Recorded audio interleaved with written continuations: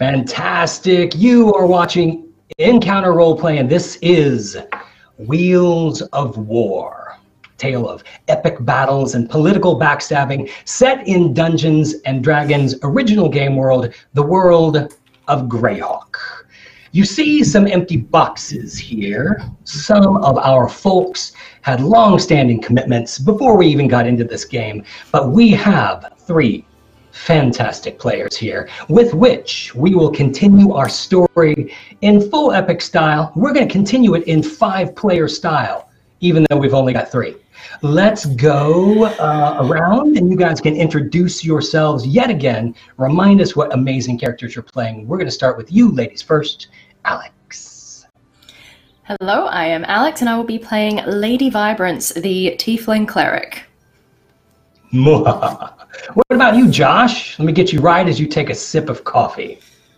Absolutely, always, uh, always prepared to fend off the DM's uh, sudden intrusions. I will be playing uh, Sable Cross, who is the Aasimar Paladin, and I love your commitment to st- keeping it to a five-person encounter, even though there's only three of us. As a as a Oh, fellow wow. evil bastard, I respect. Oh yeah. Of course, of course. And I think it would be rude for anybody to play their characters, so we just won't. Yeah. So, what about you, Kevin?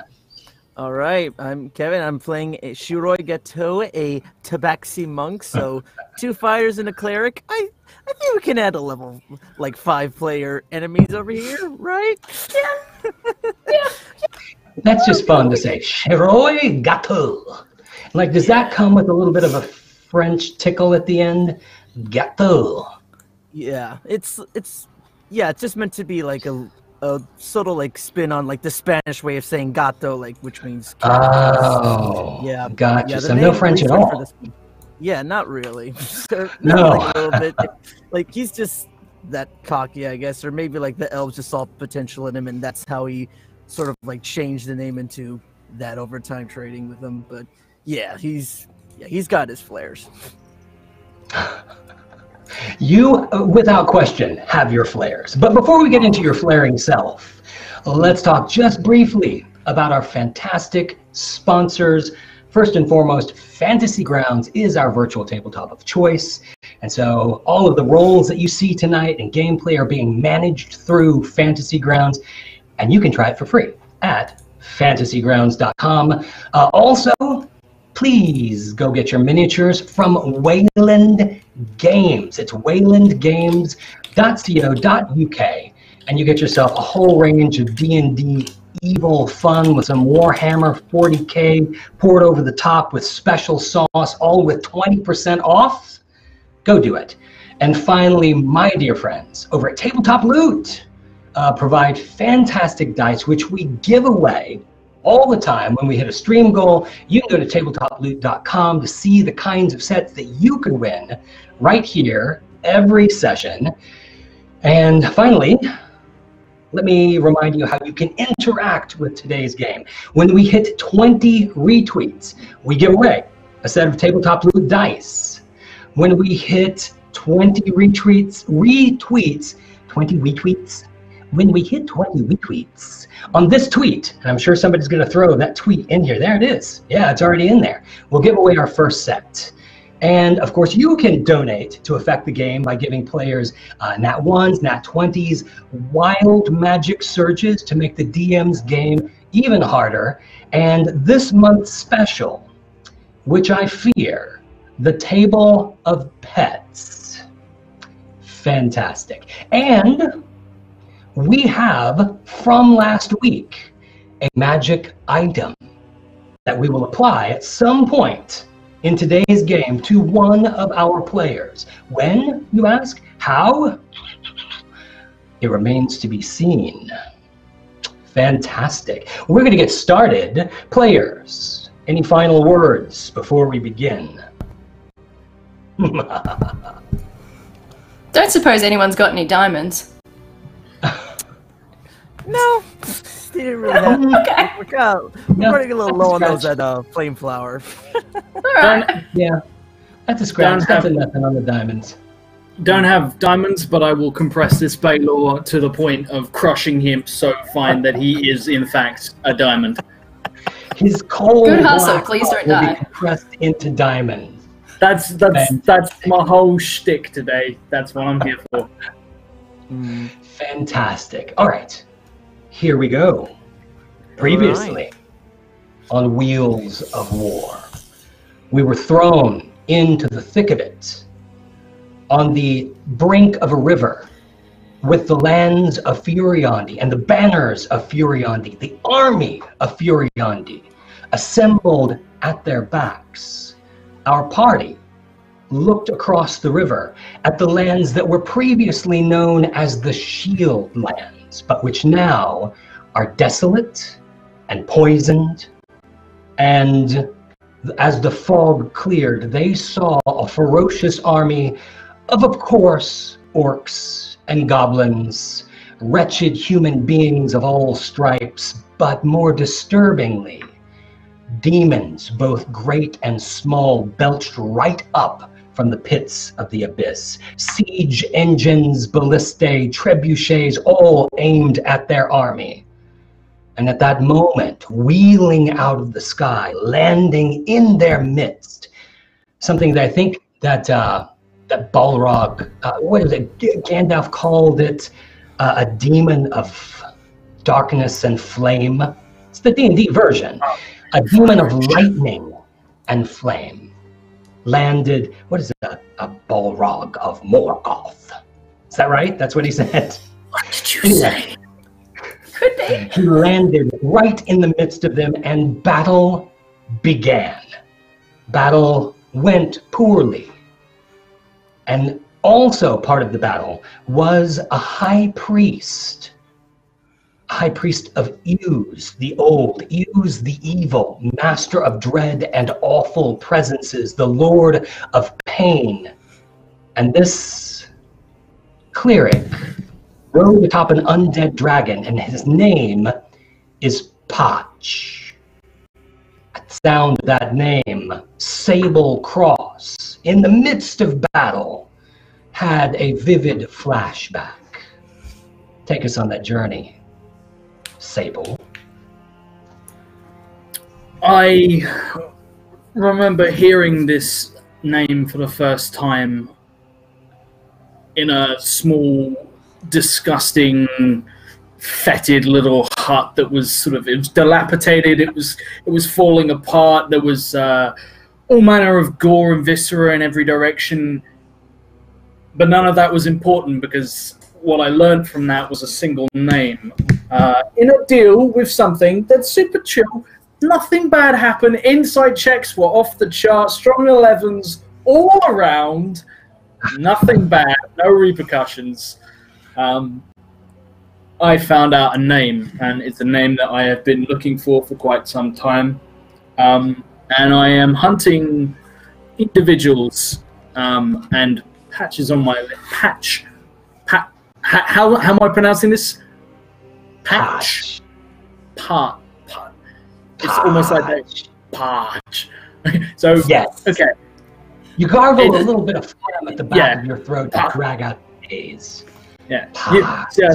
I'm going to be frightfully British and talk like this, and then every now and again, "Patch," and uh, that, that will just come out just naturally. I'll slip it into the conversation. I um, I I hear this name, um, and this name has been what's driving me for the past. I'm not quite entirely sure how long. A considerable length of time. Yeah, months at this time, and um, I, I am. There's now there's now Balor between me and him. Uh, well, let's see. Before we jump to that, I know you're desperate to come down on Potch, but not only did we jump back six months before this battle with your character, we did so with every character. Kevin, what did we learn as we jumped six months back in your story? All right. Well, in my we we come to find out that I had a cross with a oozes and Iggwilv's orcs in the hundreds, and I just had to retreat back to Flame Flame Flower because it was just too much for me to handle. And I come to find out from my master Oliet and an elf refugee that my people were wiped out by all these orcs, and my guy was just fuming with rage. Shiroi is just is out for vengeance, justice, whatever to justify like killing every single one of those guys that took off his family or Oh, that just wiped out his kind. Now he's heading straight for Tirimo's location to try to forge an alliance with the humans and take on all of Iuz's forces in the, the land of Now, who do you think was responsible for the fall of all your kind? I would pin it on to just any any orcs that like worship Iuz or any of those dark forces, demons of any kind. Yeah, he's just gonna go right for those people. But if other people are responsible, he's not he's not afraid to take more of those lives. I- Run events is no concern. I don't think that you're afraid of anything, my dear friend. Oh, But he's- your, your master in the monastery feared that because all of these creatures came up from Perrenland, perhaps the witch queen of Perrenland had returned. Hmm. The woman known as Iggwilv, the mother hmm. of Iuz. Hmm. Ugh. But Lady Vibrance, at the same moment, six months ago, we visited you. What was happening in your life at that time? Instagramming, Whew. some sunning beside the pool. Go ahead. Yeah. Yeah. Uh, generally leisurely life until uh, Urs rolled in, uh, laid waste to the entire land that we had reclaimed after his last war, which we'd. Look, Lady Vi wasn't too concerned with the current government falling. It had its flaws, it had it coming, but unfortunately, it took the entire city, including our place in it, with it. Uh, in order to survive and hopefully one day reclaim and improve our place in the uh, Horn Society hierarchy, uh, Vibrance and her mother fled south to the human lands that until very recently Lady Vibrance had been an active part of the military fighting them. Uh, and to avoid being, you know, shot on sight, as it were, uh, had to send my dad back to the old hell dimension, which was super fun. Love you, Dad. Go to hell. Yep. Bye. But before you sent him to hell, Yes, he he gave me gave something. you a gift. Mm, he gave me an orb that uh, I wasn't particularly pleased to carry. Uh, understanding the potential of it, and if it fell into the wrong hands, how many problems, how much chaos it could cause. But also understanding that this orb, this very powerful orb, which I believe was a scrying orb of some description, uh, would be very, very valuable to our previous enemies in the south who we were now trying to win over. And that would be not only our passage into the lands and through the lands, but the forging of the alliance that we hope to make. So, A very important piece of booty. You brought the booty. I to the brought the booty. Belvor of Furyondy.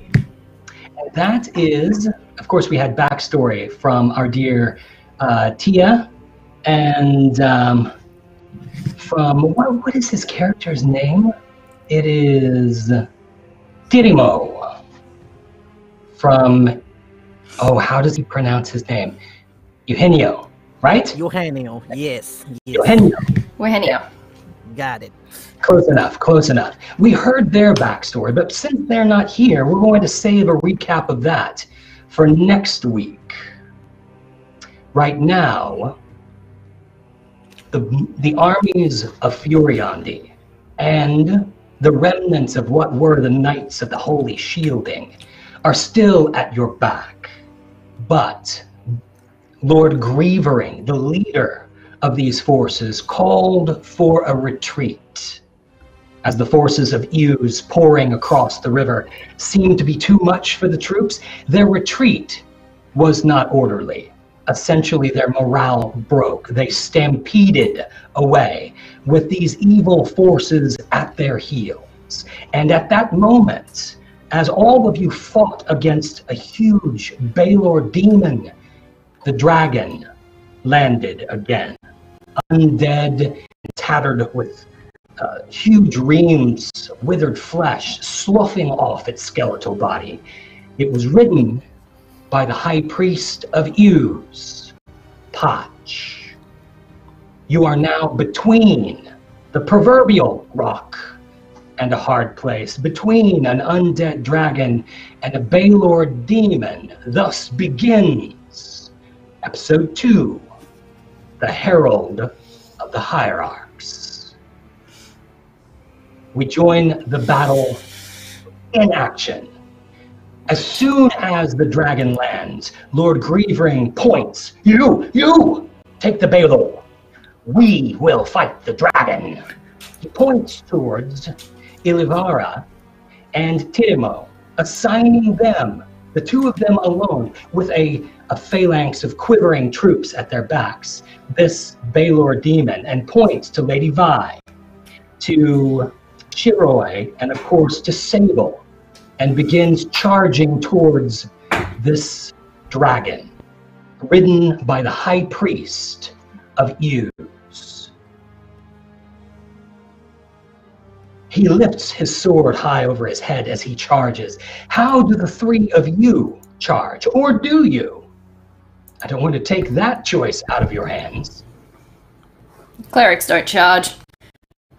Um, are, we, are we still in our previous initiative order, or are we going to re-roll that? It is still there. Great. Clerics don't charge. All of my healing in the future is free. You heard it here. I'm on board Yeah. with this Hel- healthcare plan. Clerics. style. Healthcare. All right. Oh no, we had we had healthcare in the Horn Society. It was state issued. It's a lawful Yeah. society. Evil, Exactly. Hmm. but still, that healthcare But bureaucracy, they loved that. Loved that. All about stuff. it. So let's go Um, around the circle. What about you? we'll go ladies first. How do you respond to Lord Grievering's order that you charge? Oh well, I know that I'm not charging, but I'm pretty sure some of my buddies are. Mhm. So, uh, uh, uh, I am going to cast aid on uh, Shiroi. Mm-hmm. Shiroi is going to get some aid from me. So, raising up my, my palm with my holy symbol on it and throwing out an aid spell. So, you're going to regain five hit points. All right. Uh, and I can choose up to three creatures in range. So, actually, it's both of you. All right. Oh, right so, on. you're both getting aid. Uh, and your Are you getting, hit point. getting aid from Grievering? Are you one of the I- three, or is Grievering one of the three? Hmm. Grieving. Not me. Not, Oh. not for me. I don't need it. All right. You're so selfish. No need. So, All right, the let me three. add that to him. And uh, up to three creatures within range, each target's hit point maximum and current hit points increase by five. All right. So your hit point maximum has gone up by five, and you get five hit points for now. All right. So a little bit tougher. And Uh. here's the fun part uh, because that is an enchantment? No, abjuration. Wait. Hmm.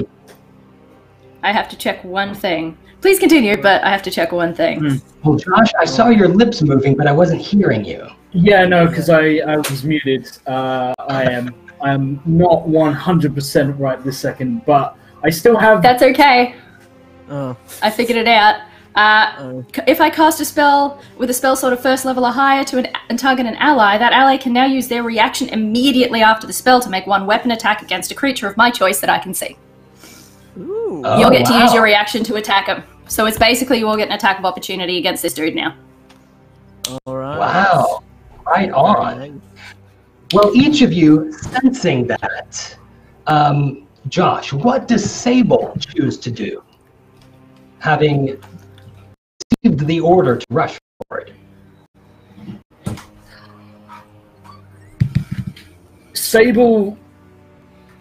Sable is absolutely horrifically, terribly torn because he really wants to go over there and have uh, extended discourse with um, this individual um, repeatedly, over and over again, with his sword.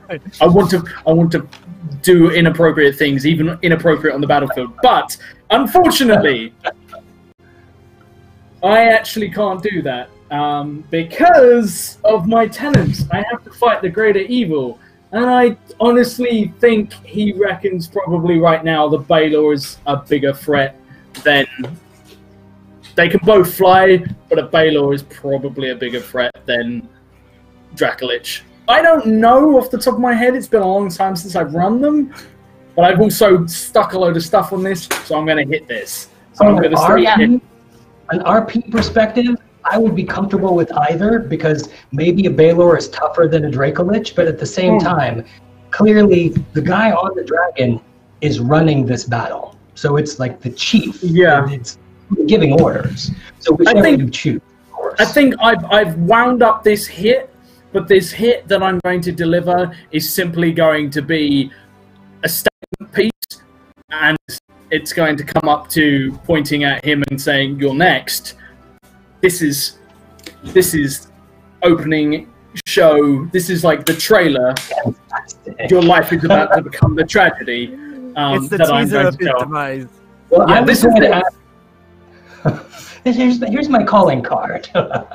Yeah. I was going to ask each one of the three of you how you wanted to begin, but since you've been granted essentially an attack of opportunity, take it now, my man. Yeah. And it can And only we'll be be against this guy. Yeah, I will. Um, well, I've got a load of stuff stacked on him. Um, I can't do my thing. It would honestly be better for the monk to go first because you're going to get more. Okay. atta- uh, you get like the bang and everything, and I, I need to figure something out. All right, All right, then, that's Kevin. You have been commanded by Lord Grievering, who is clearly in charge of this battle, but you've only known him two weeks. You you owe him no true allegiance, but Hmm. you do see this undead dragon land with who is clearly the spokesperson of these evil forces. He's asked you to rush forward with him to attack. What do you do? All right. I think I'll take a couple more. I want to take a few more swipes at this Baylord thing that I'm currently right on its face. So let's see if I can make at least. That's true. You're like dangling from a horn. Yeah, I'm staring right at his eyes. I was clawing his eyes, eyes out last session. So I'd like to at least make one more strike to see if I can blind him, and then I'm gonna try to bounce off and then try to rush with uh, Baylord and Yeah. get this. hyper- All right, so here's your free attack of opportunity. All right. Let's see. So that is plus nine. The dangling kitty. So Oh. yeah, kitty's got claws. Let's see. Fear the so dangling that- kitty. So that's plus nine. Let's roll it. Oh. Oh. Oh. Wait. A nine. That's okay, it was a freebie. Okay. yeah, I think it, Fantasy Grounds is still catching up over here. Uh, Okay. so yeah, looks like you rolled a nine. nine plus. Interesting. Oh. yeah. That's an interesting way to put it. How are Yeah, you so adding? think- How are you adding in the? Hold on, let me try. All right. I would. Can I? Can I use that as my? It's the wrong modifier. I just rolled a nat twenty. I just wasted a nat twenty. I'm so angry. No. Oh god. Oh, My. God, that is so painful. I don't know the way the way things work in my world. Nat twenties seem to come in clumps, so Yeah. it could Well, just we'll be a harbinger. Um. So if you type in the bottom left, you see where it says adjusting, and there's the zero. Yep. If you click on the zero and then type in the number, whatever your modifier is, and then pick up whatever dice, and the next dice you roll will add plus that. All right. Yeah, I've been doing that. I just get the, the pop up. Oh Wait. wow! Oh shit. All right. Okay. Now. Okay, All stop rolling so dice. I'm going to say we're going to take that and we're going to move ahead. So there you All right. go. Oh, let's see. All right, so I'm just taking a couple swipes, a swipe at his eye. I want to try to blind him, and then I'm just gonna try to bounce off and rush to. uh Oh, yeah, just rush over to where the Baylord is and try to just give him some support. So I have to roll damage on the you do. eyes of the You do Alright. if you'd like. See, I told you that 20's coming clumps. Okay. All right. So let's do that. So that is a plus five and one d six. Oh. All right, all right, hold on. Yeah, it's. I, yeah, I probably have to do this just manually. So let's. Oh yeah, just What was that? whichever way is quickest to do it. All right. all right. So yeah, that's a six. Wait. All right, so eight points of damage on that attack, doubled, All right. correct? So that is a 16. Or did you choose to roll twice specifically? Oh yeah, that's just a sixteen. All right. Oh, just a mere 16. So, right. dangling from his horn, you scrape a huge gouge across his eyelids. It is a it is a testament to the size and girth of this creature that your your claws didn't penetrate his eyelid and rip out his eye, but his his eyelids are about as thick as a saddle, and the creature pulls back, shakes, trying to get you off of his head. You won't get to move this time because, Hmm. as I understand it, what Lady Vi did was give you an attack of opportunity. Your move Basically, will yeah. come on. Alright. Does that make sense? All right. So Lord Grievering is rushing across the battlefield, Hmm. and Potch sort of stands in his saddle on the back of this creature, raises a right hand, and says, Noble Lord, look upon the battlefield. My forces devour yours, quite literally. And you you see Lord Grievering look to the side just in time to see a Vrock, a huge winged creature, literally pluck the entrails from a fallen knight. Both of his rear talons are on his one on his chest, one on his legs, and his head pulls up a huge coil of tangled intestine. The man still lives and cries out, and the Vrock begins to eat. Potch continues. Surely you would like to yield and throw yourself upon the mercy of the Old One? Lord Grievering stops, seems to waver for a moment. Sable politely raises his hand. While we were doing all that, I completely forgot to actually roll my attack. Yeah. Yeah, I completely forgot to roll my uh, my free uh, attack from um, Lady Vi, Go for it, dude. and I feel I Let's feel like Let's say this Really? attack, we're not going to retcon it. This attack will actually happen in this moment where Lord Grievering wavers.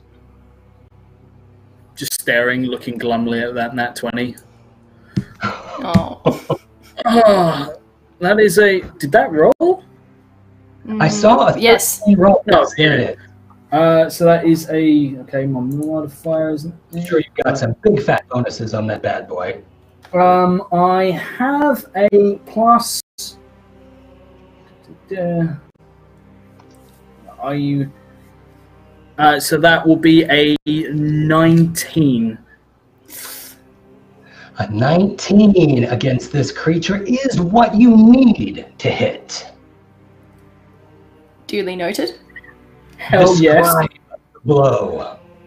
Um, the blow is going to be a cacophony of dice because I have to roll a cacophony of dice. Uh, I'm going to step up to him. I have something witty to say, but I need to type in. So it's 2d6 plus 10 for Great Weapons Master, plus 10 for Necrotic Shroud, plus I will save the thing, plus 4 for Strength, plus 4 for Charisma for Hexblade Curse. I'm in a bad dear. mood. I'm in a bad fucking mood, guys. It's a Balor. It's pissed me off, and uh, I'd like to smite it, please. And that'll be uh, 48. And then. I I actually- I, um, I told you, I told you, I've lost my fucking temper, and I'm going to.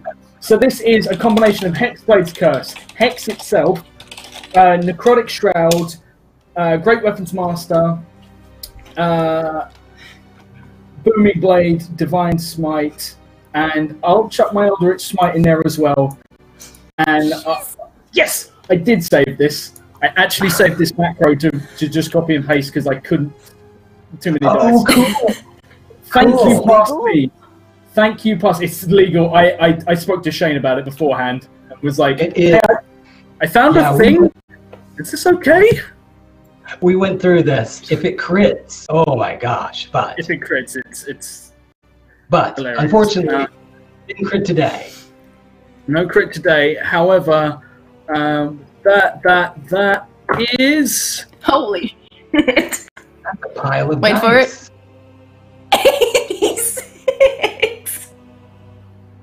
that'll be eighty six damage.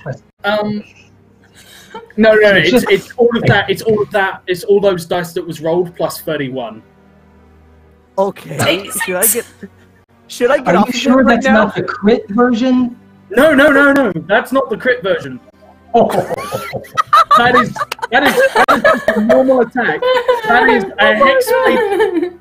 So great weapons master gives you plus ten to damage. Booming blade Oh gives you additional thunder damage. Uh, my necrotic shroud, which I've currently activated, which is the thing that he's currently afraid of, and in a minute will need to make a saving throw against when my turn comes around.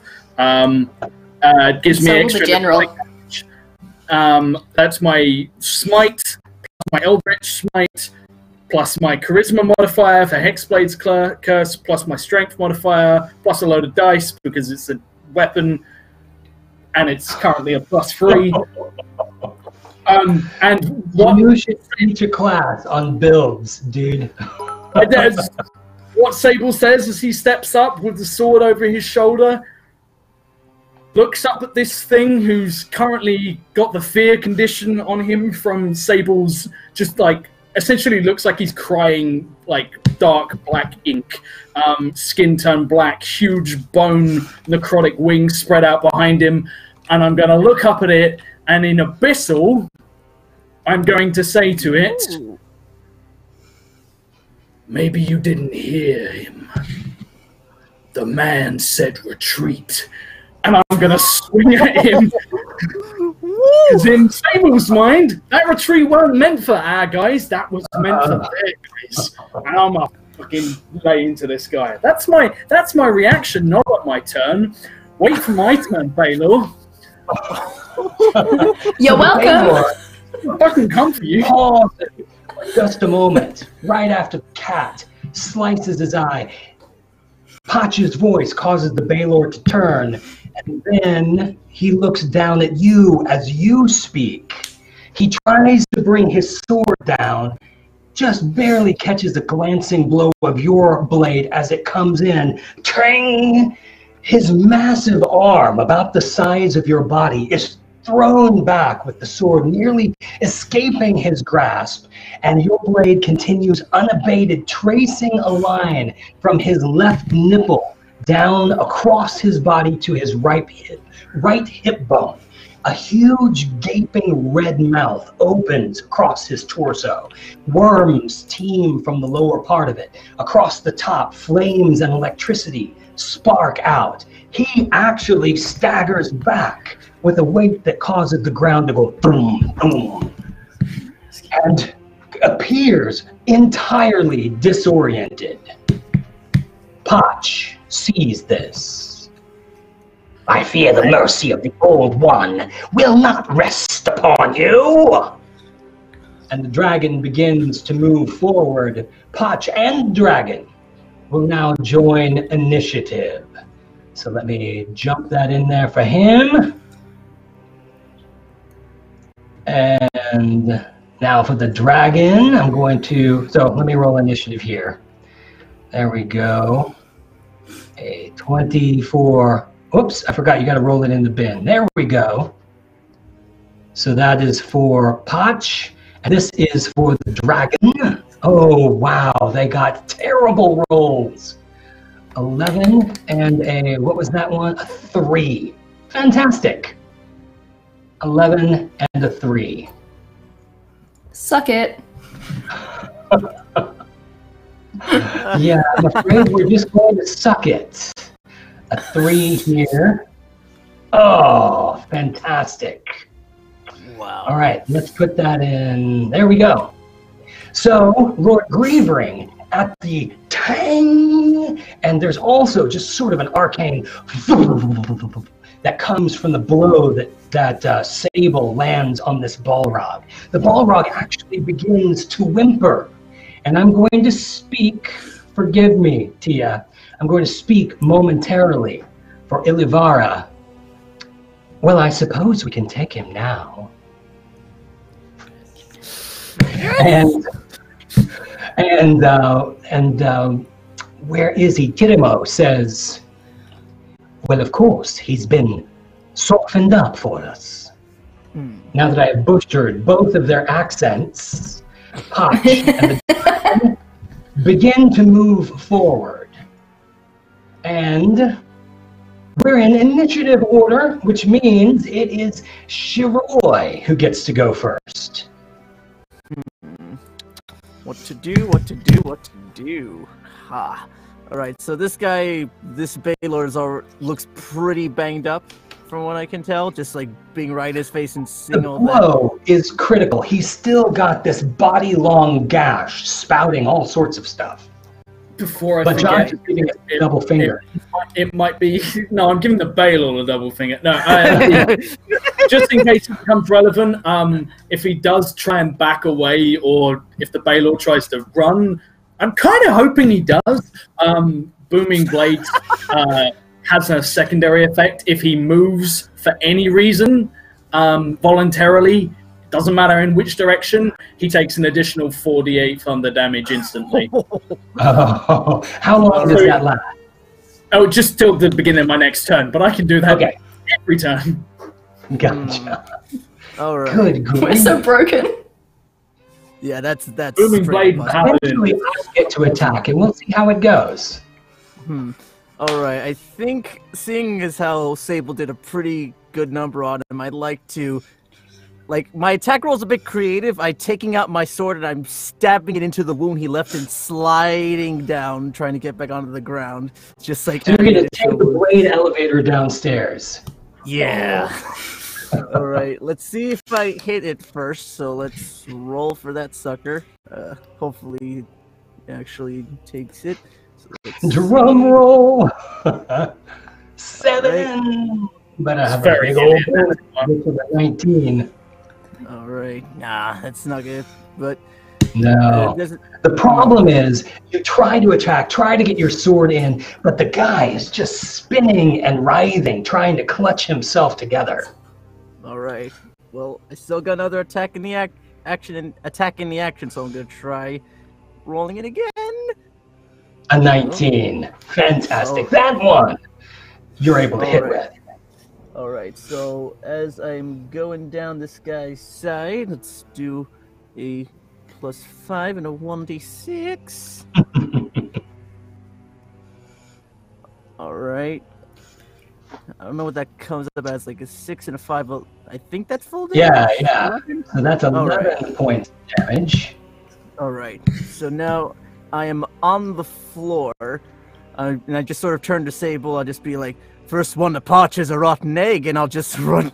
I'm just gonna like rush up with Baylord, and uh, yeah, I'm just gonna, yeah, just gonna be.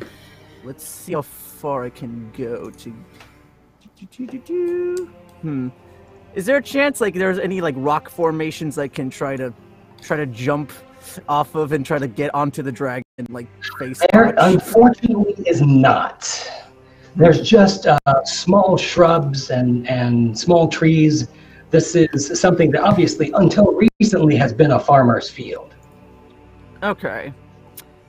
Would I have to roll a disadvantage if I just want to try to straight up jump onto the dragon from, like, if I just rush from? You just want to mount that dragon. Is that it? Yeah, I want to mount him and the just dragon, like man. face. Ride the dragon. It's the only way we're gonna get through this. All right. Um, You have to. You must ride the dragon. yeah. I Ride the would dragon. say I would give you. Um, well, you've already used your action. You've Hmm. used your bonus to disengage, so that you could get over there. I'm going to say you just don't have enough this turn left. Okay. Hmm. I'd say I can just at least But move there all the way to it. Hmm. I'm sorry. But you definitely got all the way to him, and I, I can I will apply your momentum as if that was just where your turn ended, and you can still jump next round. All right, I will do that then. I just really hope he doesn't step on me. That would really put a dimmer on things. It could happen. It could happen. All right, so in the meantime, Lord Grievering decides to cast a spell. He's going to start with a Shield of Faith for himself. So that will be his bonus. So that will give him a little bit of bonus on his armor class. Actually, he's going to throw that on Shiroi, who will have run up ahead of him. In anticipation of the fact that he's about to go point blank, clearly, he throws a shield of faith and applies it to Shiroi. So for up, the, up to the next 10 minutes, you'll have a plus two to your armor class, unless Grievering's attention, his concentration is broken. And he runs forward and attacks with his long sword. He's going to do two attacks. I'm going to roll them both at the same time. One, a 16, and the next a 12, 16, 17, 18, 19, a 21. Yeah, they're, they both hit. So Grievering rushes forward with his holy blade. You can hear um, Gateau as, as he rushes forward. You can hear his blade humming uh, with some sort of holy energy. And tang, tang, he brings the sword gratingly across the rib cage of the, the exposed rib cage of this decaying creature. So we're going to roll for that. 2d8 plus 4. I'm going to do this the easy way. 6, 7, 8, 9, 10, 11, 12, 13, 14, 15 points of damage for this dragon. The dragon rears up. Potch sits down in his seat. There we go. Next is Tiramo. We're going to skip Tiramo. Potch gets to attack next. Still riding the dragon, spooling back and forth. What will Potch do? He looks, evaluating the threats around him. He's going to cast a flame strike. Fantastic. So he's going to bring the flame strike down. Hmm, he's going to bring it down right there on Shiroi and Grievering. So right in front of the dragon, woof, a huge column of flame smashes into the ground. Hmm. So let's look at Flame Strike. All right, 21 AC. So I can- Please don't fail me. I need to I need to actually look it up so I know what to roll.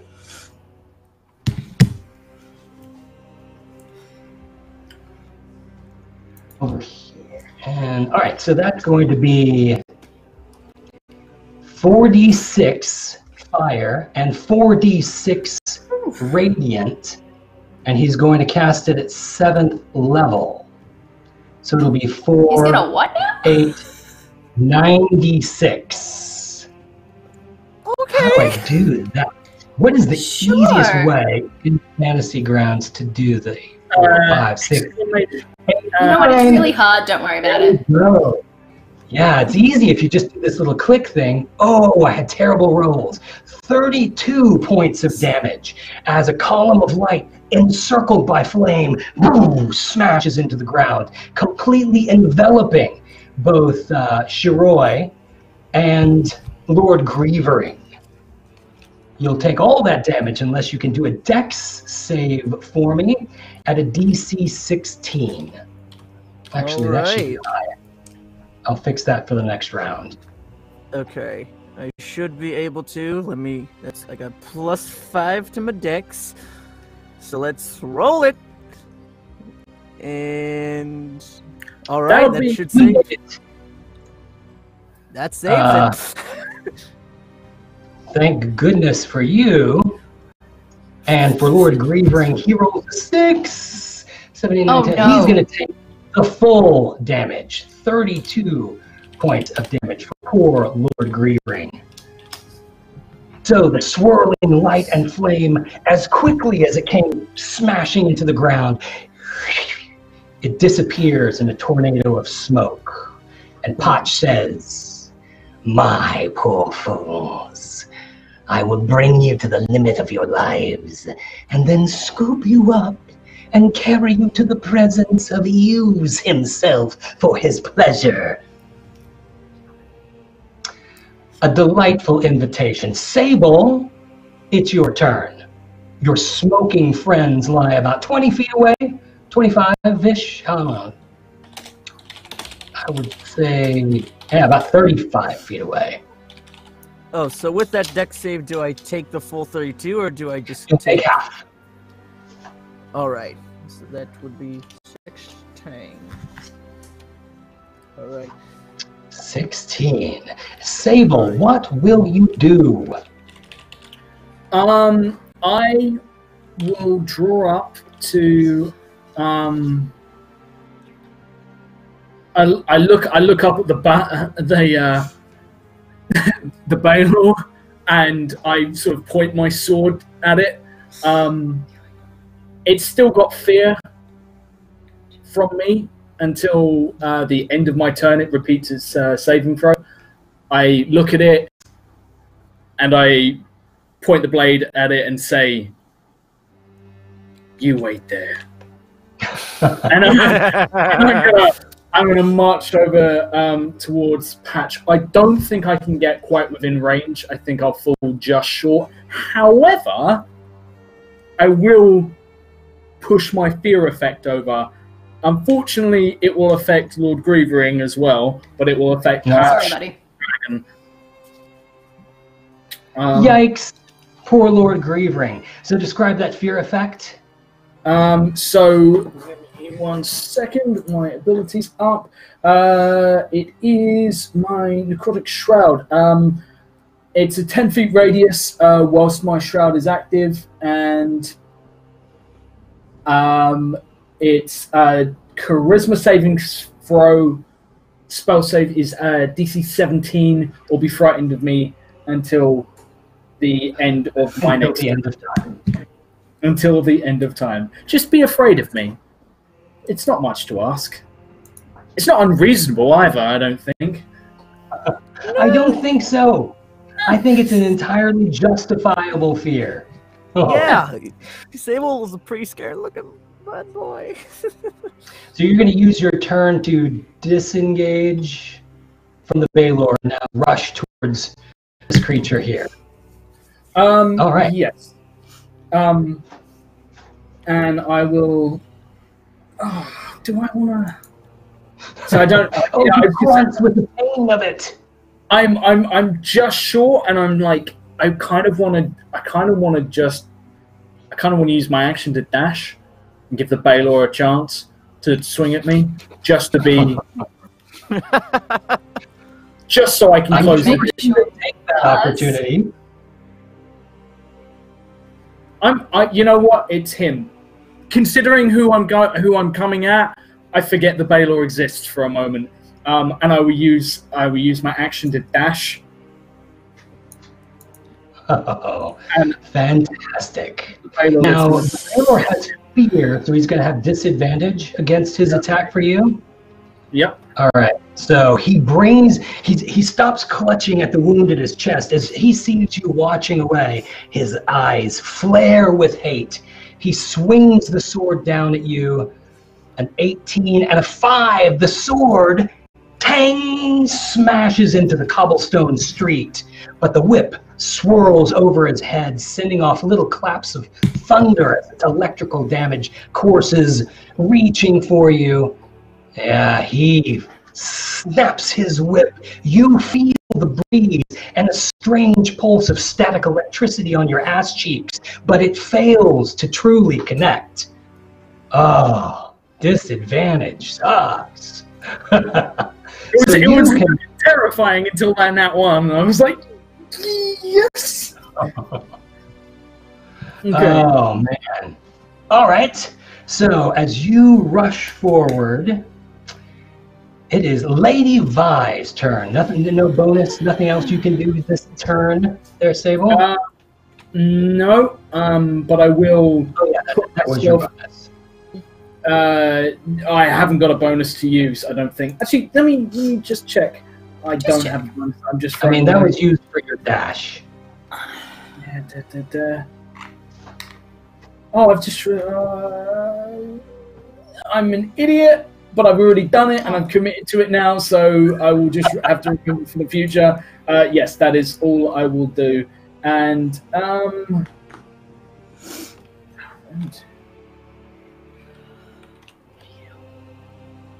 okay, I use my channel divinity as a bonus action to use Vow of Enmity. Ah, And sweet, yes.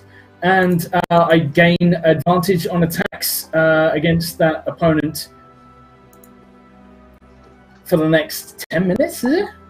Jesus. and who who do you give your vow of enmity to? I assume Potch. Yes. All right. Actually, no. His dragon, specifically his dragon. Yeah, I ain't letting him fly away. No, no, no, no, no, no, no, no, no, no. Fantastic. Very nice, because I'm gonna need that for what I want to do. What about you, Vi? Uh, well, I'm going to throw out a little bit of healing at our um, at uh, Shiroi. Uh, a healing word at third level. Hmm. Do, do, do, do, do. Congratulations, you get 12 hit points back, and because I've targeted you with a spell of level 1 or higher, you get to take your reaction to take an attack against that thingy right in front of you. Oh my gosh, that is a cool trick. Love It sure is! All right. Hmm. So I'm guessing uh, since I can only take an attack, I can't use that to. Can I use that to jump on the dragon and or try to make an attack What, you so I can- can? um, I think it's just an attack action. All It right. is. It says just you can immediately attack. Okay, then. Basically, an attack of opportunity. Hmm. Yeah, then I will like to throw. uh If I could, how clearly is is Potch within my sights, or is the dragon like way too far in the way for me? To Where you are, I'm going to say that uh, Lord Grievering and you, who are fighting side by side, this dragon is reared up on its hind legs, exposing its armored chest and belly, although much of that is rotting away. But yeah, you can't see Potch from there. All right. Then I'd like to go to like full the cover for you. Hmm. Yeah, and I like to go up to the hind legs and take a slash with my sword, and let's see what I can do. Right, so that's a plus nine, and roll it. Oh. Yeah, that's that's a miss. 13. I'm going to guess. Yep, Yeah, that is 13. not going to hit it. Hmm. Right. So as you as you bring in, you said your sword, right? As you bring your blade in, it goes tang. I mean, you can't miss a dragon at point blank range like that. Hmm. So it smashes him right in the chest, during right on top of one of his still adhered armor plates, and hmm. the impact goes tang. Hmm. Jars both of your hands. They start to sting and buzz with the blow. What else for you, Lady Vi? Whew, well, I don't have a lot in the way of bonus actions. Um, Hmm. hmm. Do you know what though? Uh, I am going to try and cast command on um. Oh, what's his name on the on the dragon? I didn't pay attention to his little speech. I'm sure it was. I'm sure it was great, but I wasn't paying attention. Pudge, punch, punch, punch. That was his name. Uh, punch. I'm going to cast command. Uh, so that would be a wisdom saving throw of 17, please. Oh. It's not normally a bonus action, but it is for me. Hmm. Oh, okay. Oh, all right. All right. So wisdom saving throw. He gets a plus six on this. Yeah, it's a long shot. 17. What does Ah, he meets it. He meets Ah. at 17. Even Damn with it, the that would have been so cool. He is a high priest. That's Of a alright, it was worth a shot. It that would have been very cool. It would have been epic. It would have been. Lady Fire, you pretty would good. move or stay safely out of range. I'm pretty safely out of range. I'm gonna stick here. All right. I'm not. I might move So- a tiny bit closer, kind of underneath that tree. So I'm kind of between the two. Okay. Gotcha. Yeah. Gotcha. That puts everybody so- in all of my range. Fantastic. So the Dracolich leans back even further. I'm getting the finger. Somebody's giving me the finger. Is it the, Dra- is it the Dracolich's turn? It is. Uh, it needs to make a charisma saving throw against fear from me before it kills us all. Why does it need to do that? Oh, let me roll it in here. So I'm going to get a plus four on this roll.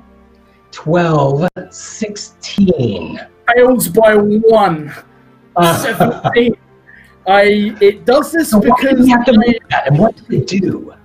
Um I also have he's not the only one with cool fucking undead necrotic wings. As a fallen Aasimar, I have these huge in my opinion, huge. I'm not here to compare sizes with the Dracolich. No. But I have The these Dracolich goes. I um I spread my uh my wings out and sort of look up with void like soulless eyes. Um and there's like an aura of just anger and hatred pouring out of me. And it is at disadvantage to attacks. They can't move any closer to me. Disadvantage to attacks against you or against everyone? While while it can see the source of its fear, it has disadvantage on attacks, and I think that's it. That's just, it's just the standard Wow. right. Right on. Nice, so as nice. your as your really big wings furl out from your back, and this necrotic aspect twists your visage into a hellish form, Lord Grievering looks over at you in fear and confusion. It's it's a look that you've seen before of a man going, is he friend or foe? But then the dragon wavers for just a moment, looks down at you, and Potch yanks at the reins that go through, um, like all around his his snout. Yanks at it. The dragon sort of snaps out of it and goes, shrieking at the sky. That is a frightful presence. So each one of you need to make a DC 18 Wisdom save, or become They don't. frightened.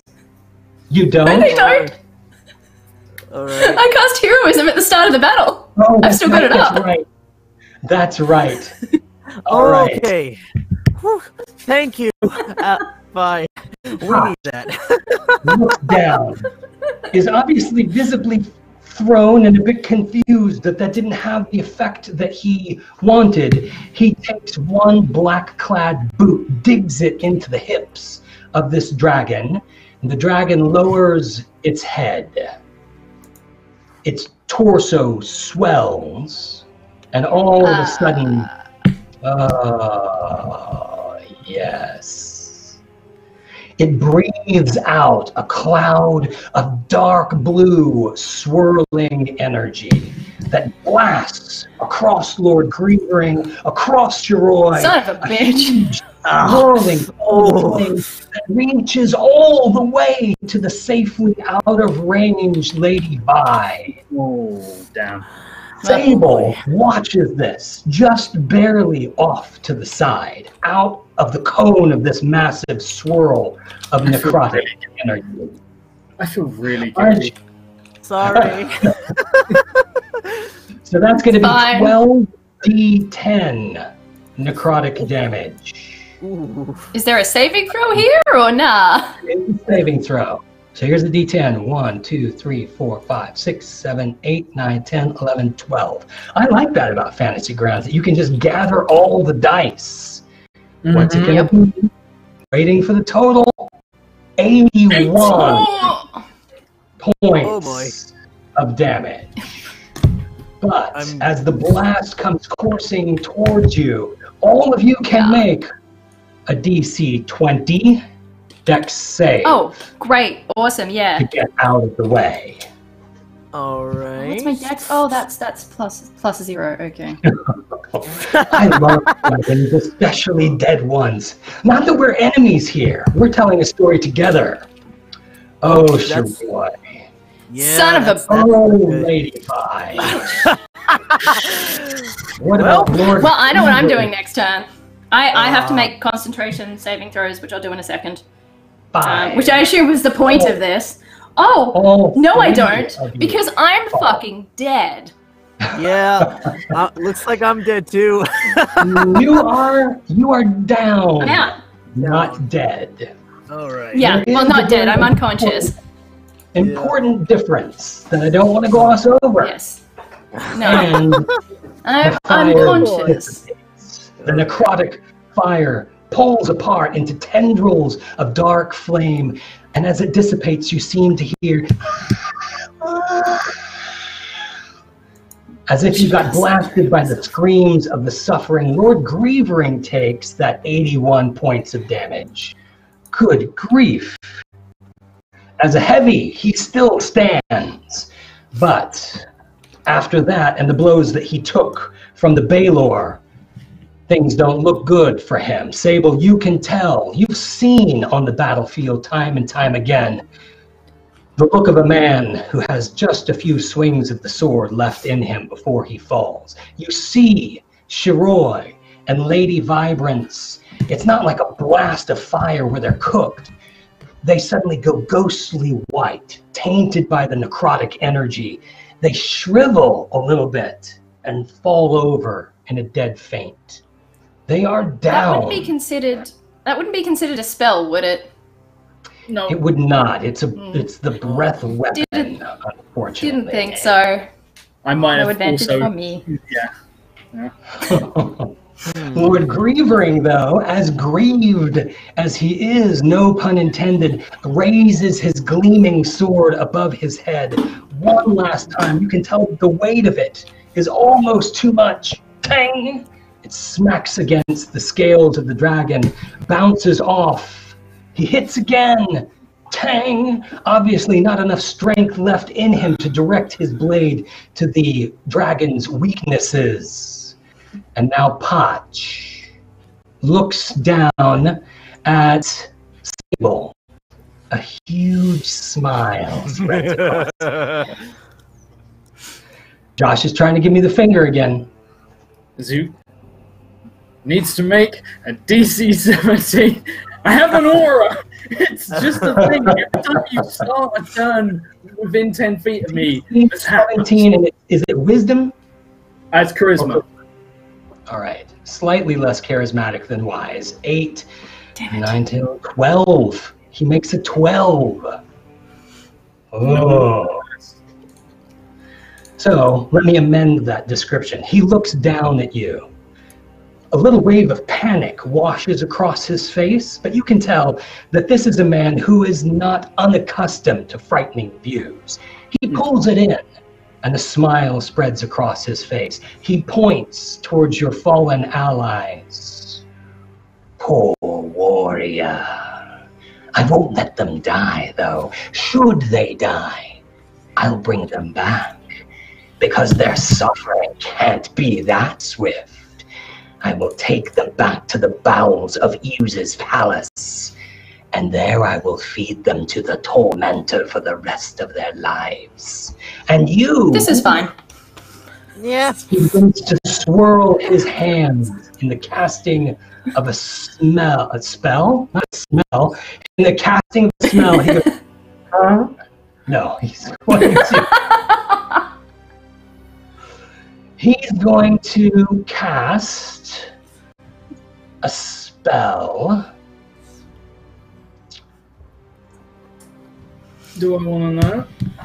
There we go. So suddenly, he opens his mouth, and from it vomits locusts, biting flies, and strange abominations of insects, the likes of which are not normally seen in the Flanaess. All of them jet black, swirling around both you and Grievering. You can each make a constitution save as you are being attacked. Death by a thousand stings, a thousand nips and bites. So let's see what he does here. Grievering. Can he do a constitution save? Oh, a 20. Oh, but that's only half damage. Yikes. So let me That's a pull up. Oh, he's only got a couple of hit points left. So So, I will put this insect. It's going to be 4d10, 5, 6d10. Poor Grievering. One, two, three, four, five, six. Toss. There we go. Drum roll 30. So Grievering.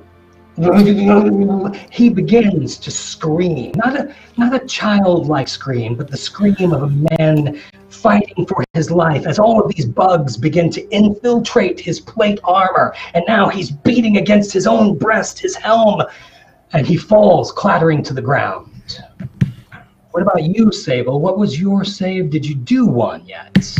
I did. A 10. Mhm. Strong 10. A mighty 10, yes. The insects swarm around you. You feel your face begin to twist and distend as boils and stings and welts begin to rise upon it. And above the, you hear the cackle of Potch. Oh, Potch. Still tormenting you. But now, three allies fallen. One beating against himself, trying to rid himself of the plague of insects. We have gone back six months in time. Now, let's go back two weeks. A mere two weeks from this moment, back in time. How did each one of you come together? When did you first come to see one another and join this? Josh, it will actually be. Um, where are you? Yeah, it will actually be your turn when we return. So I'm you well just get me up. Get me keep up. that bad boy cocked and loaded. Absolutely. So, Yes. two weeks ago, Lady Vi and Shiroi are standing outside of a huge arched double doorway. You stand on a massive terrace. You know where you are. This is the great city of Admundfort. It is set on an island just offshore in the midst of the Nyr Dyv, the biggest lake in the Flanaess. It's known as the Lake of Unknown Depths. And before you, before these closed doors, walks back and forth a man about six and a half feet tall. He is waif like thin with a concave chest. He is in constant motion, fidgeting and twitching, his mouth working, though you can't hear what he's saying. And each of you look to one another. You have known each other for about three minutes. You have just been introduced to each other as you were brought together by Tubal, an emissary from the lands of Furyondy, sent by King Belvor to persuade Holmer, the Lord of the Shield Lands, to accept his aid. Right now, Tubal said, Quiet, don't speak to me. I need to think this through. We'll only have one opportunity to persuade him. Wait, wait. And he's begun muttering to himself. And so now, standing on that terrace, the two of you have a moment to speak to one another, if you wish. Worst case, we can always do the old uh, threatening, I suppose, and I just sort of like show the claws to her and say, like, worst comes to worst, my people will be avenged. You will get his help in one way or another. We will, but I don't think threats are the way to go here. And I'm looking around at all the armed people and guards, I'm assuming, are in the area. Yes, yes. You do know, I mean, this is the capital of your most bitter enemy, Yeah. the Shield Lands. I came here to survive, not to kill myself. All right. Well, what do you suppose we should do? Flatter him, ingratiate ourselves to him. Bottle the rage for a little while. Show him that we can be of assistance in the most massive possible way because anything less than that is going to get us kicked out on our asses. Hmm. He sort of sheathes back his claws in his paws and he's like, Fine. But the second things go south, I'm going in. You do that.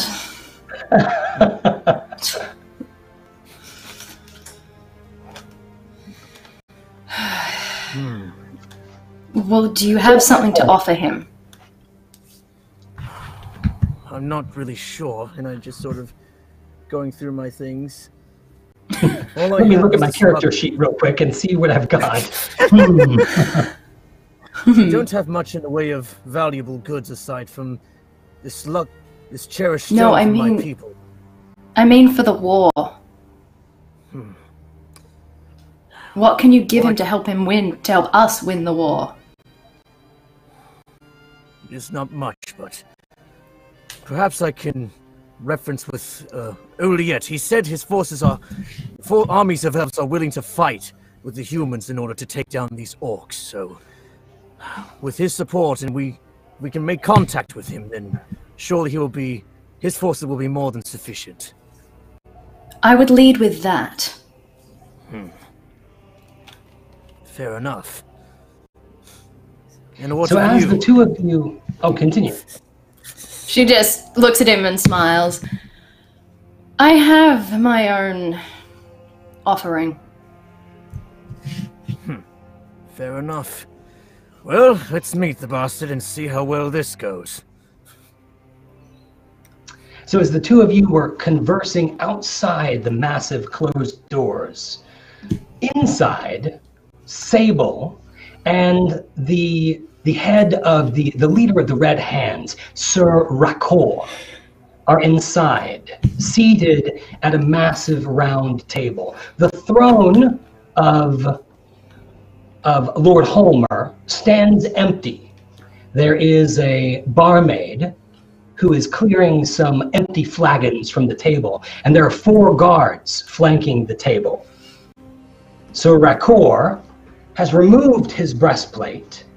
From his torso wafts the, the ripe aroma of his unwashed self, and he scratches his protruding belly quite affectionately. And he turns to Sable and says, so is this your first time mating with Lord Holmer? Sable turns, looks him up and down, makes his judgments, turns his head away from him, and I don't believe we've had a chance to be acquainted before today, no. Well, I'll tell you what, you're not missing a thing. And he leans in towards you. He is pompous and arrogant, full of himself. He thinks himself to be the wisest and the strongest, and more importantly, he has virtue on his side, as if the paladins of the Red Hand are any less noble. This uh, wise man, he happened to know a thing or two about personal boundaries? Cause, and I look down as he's like got close to me. I'm not actually armed at the moment, um, other than an arming dagger. Um, I'm in full armor, but I don't have my sword with me, and I just sort of give him a. I wrinkle my nose slightly at the assailing smell. Um, Sir Rakor looks at you, looking at his belly, and says, "Oh, please! I've been wearing this plate all day. It chafes. As soon as, as soon as homework comes in, I'll close it back up again. Sometimes, oh, do you ever get an ingrown hair on your belly? Oh, sometimes it goes to boil and you have to burst it. Yeah, I can. You putting the plate down might be an issue. And I, I turn away from him. I'm done, I'm done with this fight. Done. Well, he doesn't seem to notice that you have slighted him at all. He says, Well, Sable, I'll put in a good word for you. You're here for a reason. You have excelled in the Red Hand. And as I take orders for the Red Hand from Holmer, I feel it's time for you to be recognized for your preeminence within our society of knights. Who knows? This could be the beginning of a beautiful friendship. Hmm. I look forward to that with bated breath. Thank goodness. Outside the doors, Tubal, the unfortunately named Tubal, turns to Lady Vi Better than one ball. and Shiroi. yes, that's true. Three ball would be a little bizarre, but perhaps you could develop, you know, you could kind of make a thing out of it. Anyway, Yeah. Tubal turns to the two of you and says, All right, this is what we will do. I have been offering him aid, and he has refused because he believes that King Belvor does not merely want to help, but wants to annex the Shield Lands and make them part of his own territory. So, here's what we do. Shiva, Shiva, Shiva what, what is your name again, Catman? Shiroi. Shiroi, Shiroi. You will help convince him of the severity of the threats. Let him know that the the Vesve forest is beginning to be tainted. He must know and understand that it's not just a threat on his doorstep, it's everyone's problem, so that everyone can work together to solve it. All right. Do you understand? sort of- Right, he teeds, he sort of like sheathing in anger, like shaking slightly. Oh, I know the pain that lies at my doorstep far too well. Do you? I have lost my kind, and Flameflower might be soon to fall, so I will gra- gladly convince him of the severity of uh, the situation. Yeah, a fantastic Catman. Just save that drama for his performance, please. And you. He wrinkles up his face in unsheathed distaste. Yeah, I bask in it. he Me. may charge forward and slay you on sight. I will attempt to prevent that. Oh, the well, gift thank that he you. brought. Oh, it's all right. It's nothing personal. I'd slay you if I could, but these are strange times indeed, But are you they not? can't. Precisely. You cannot. I brought a gift, a valuable one. So, you will explain just what a threat Iuz is. You have seen his first forces firsthand, I understand. Hmm. And when you showed King Belvor your gift, he felt it might persuade Holmer. So present your gift. In public? Oh yes. There, there must be an element of performance to this. You, you understand? Oh, I understand, but this if the knowledge that we have this is dangerous on not on its own. I, I, I will do as our Lord commands, of course, but I think we will regret showing it to the masses, as it were.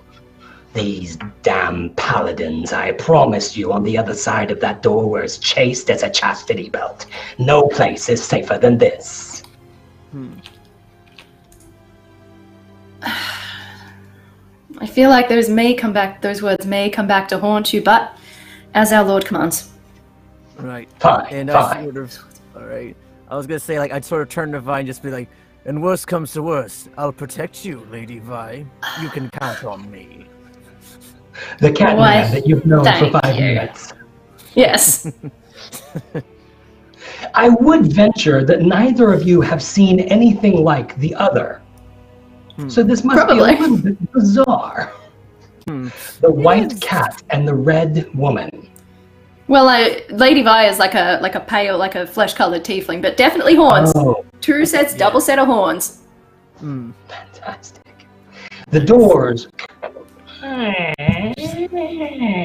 slide open. Barely is there a crack wide enough for him to squeeze through when Tubal has pushed through the door, leaving the two of you behind. The soldiers that opened the door look at the two of you in confusion, look at one another, and then Tubal is saying, Come, come, hurry. I follow Following. suit. Mm-hmm. Tubal walks up to the table, grabs the serving girl by the wrist. Do not tell me that the service has ended. I need a, a, a large flagon of wine, and please keep them coming. Be quick. Tosses her hand away. Hmm.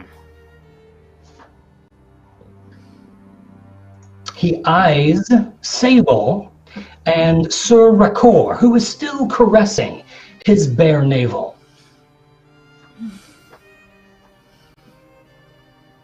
And who might you be?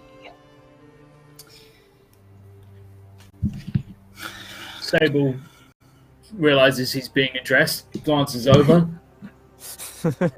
Oh, I he hasn't introduced himself. I don't know who he is. I ain't giving him my fucking name.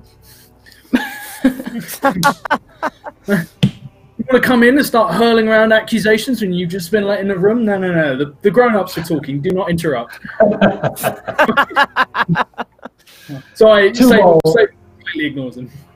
He walks around the table, giving the two of you a wide berth. You can see on his face a grimace of distaste as he passes behind your friend Sir Rakor.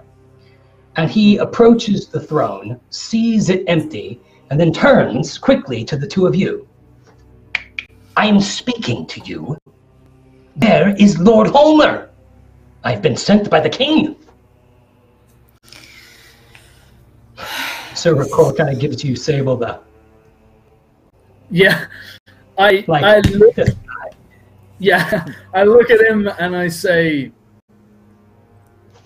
My apologies. Perhaps your complete lack of social grace led me slightly astray there. You were addressing myself. Is that correct? Oh, why, yes, I was. Sir Knight.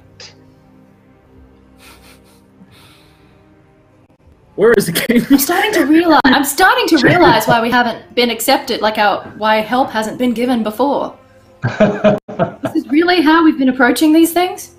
You bloody wonder.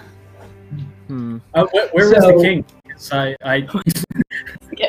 I don't know. what he refers to is um, Shit, in, in the world of Greyhawk, there are many kings. Hmm. He refers to King Belvor of neighboring Furyondy. You're here in the company of uh, Lord uh, Lord Holmer, the leader of the Shieldlands. It's almost as complicated as the cast of Game of Thrones. Okay, right. So he's Alright. looking for Lord Holmer. Yes, Where is Lord Holmer? yes, that's what I asked you. No, I'm asking Shane. Where's I don't know. Oh god. You don't know. You're here waiting for him. no, I don't have it. I don't have. I um. Wait, where are you? if you pulled it back and there was just a man lounging on your sofa, I would. I Rubbing his belly. just him. I um. I turn and look at him. I say, "I presume he is delayed and will be here shortly." And then I'd like to eyeball the other two who just walked in, so you make for a curious look. They do make for a curious couple. Hmm. Mm. And as the two of you walk in, it's hard to tell which one is receiving more stares. All of the guards tighten their grip around their pole arms. One of them actually levels one of their pole arms in your direction. Easy. Give him a big smile. I show him my teeth a little bit.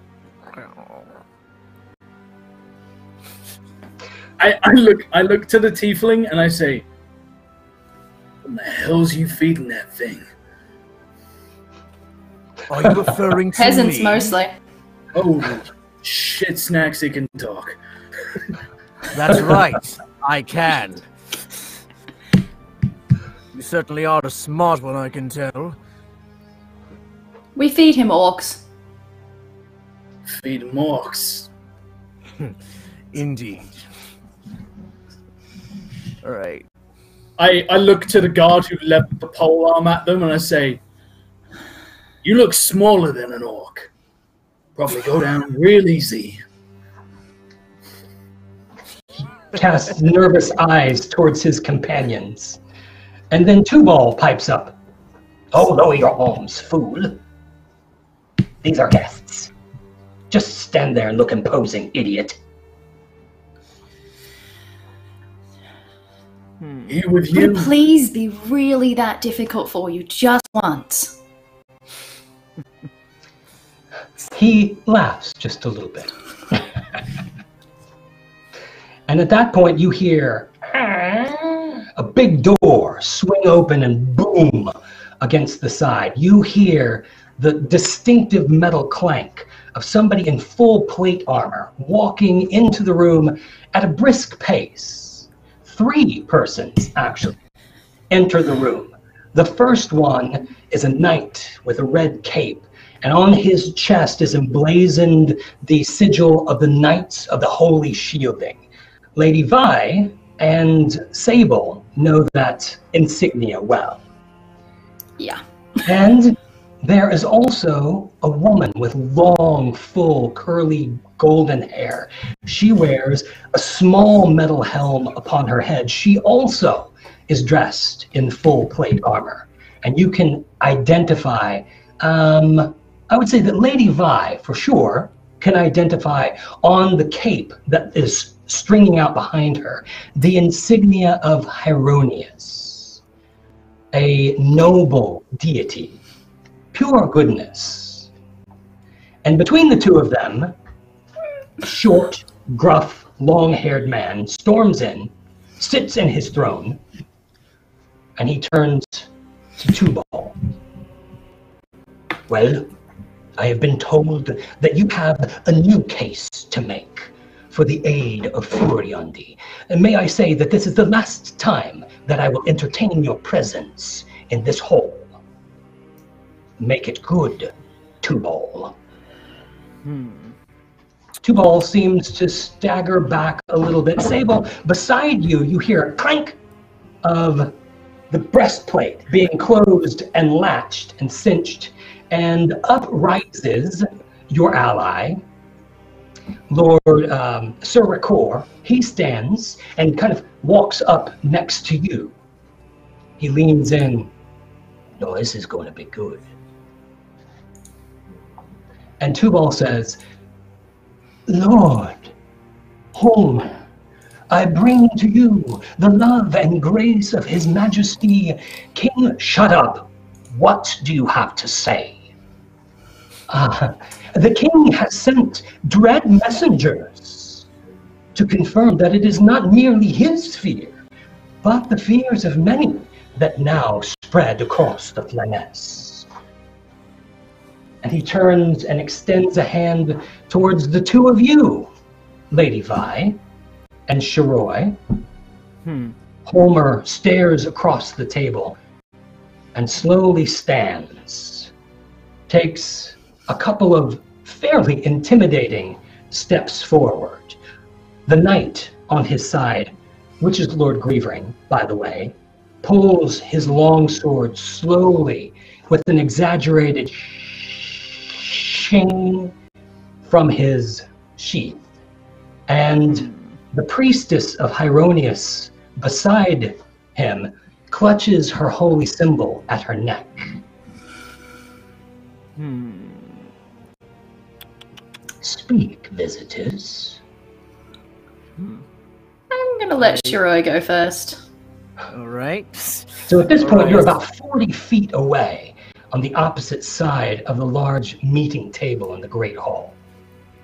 I will walk up with you, but Yeah, I'd like to try to get like uh, I'd say like about halfway through around the table, just try to like get around their, just like within their, uh, yeah, not too close to like and trying to like cause an attack, but more just so like they can clearly see me and hear me. So yeah, just Kinda right like up with bearish?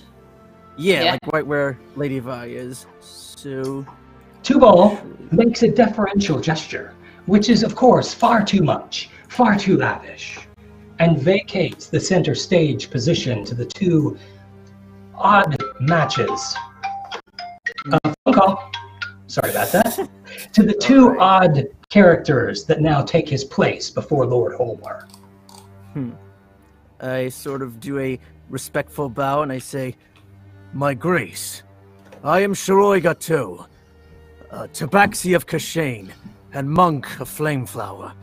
I come bearing horrid news of the fate that lies at our doorstep. The armies of Iggwilv and Iuz have caused great damage across this land, and I fear that your kingdom and my own people are next. Let me get a few things straight, may I? You are. What did you call yourself once again? A tabaxi. Hmm. I've heard of cat people, but I did not know they had a name to which they referred to themselves. Live Now and learn. I am familiar with Flameflower. That is an elven enclave.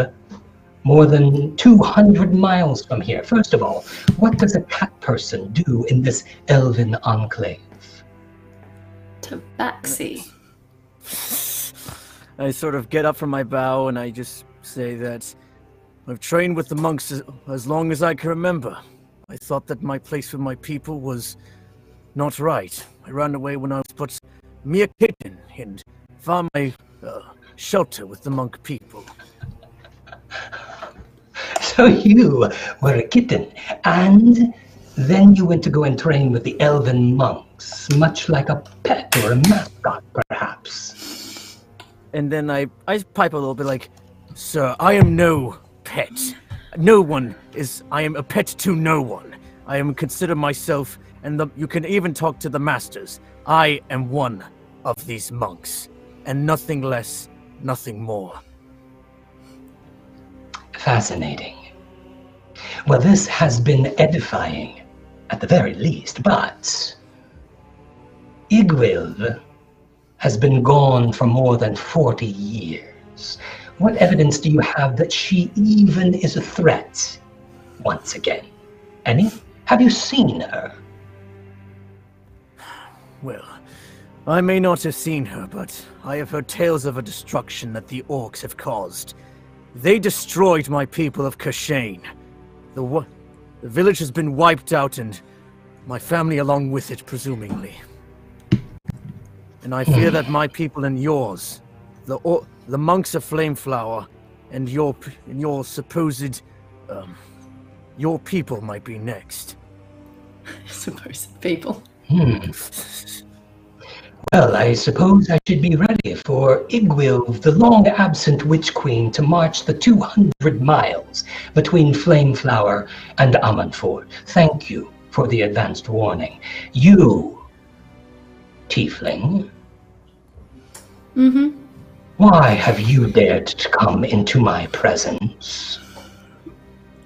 Well, to backtrack a tiny bit, as far as I've heard, Iggwilv is not fond of marching and uses her powers to simply appear and lay waste.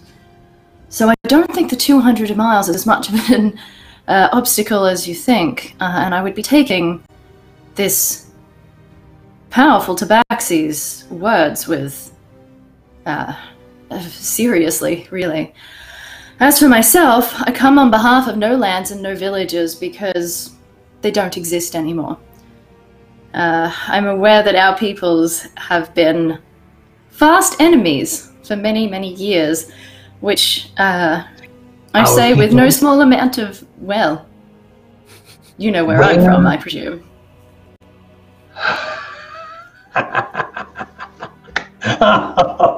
oh, sweet Heironeous, the joys Yes. with which you bless me. Iuz has taken the Oh, horn he's wiped us out. and now my now my enemies come to me as refugees. Refugees. Refugees bearing gifts. But you don't have to consider me an enemy no anymore because I have no crown to which to pledge, I have no lord to serve, I have no army to join. Hmm. And The best you I could may- do oh. is charge me for war crimes, which we'll get to, maybe, if any of us survive, which we may not. Although I do have something that may assist in our survival, and I'm going to look over at our accompanying friend from the king to confirm that now is indeed the moment. And out of my cloak, I pull the orb and hold it up.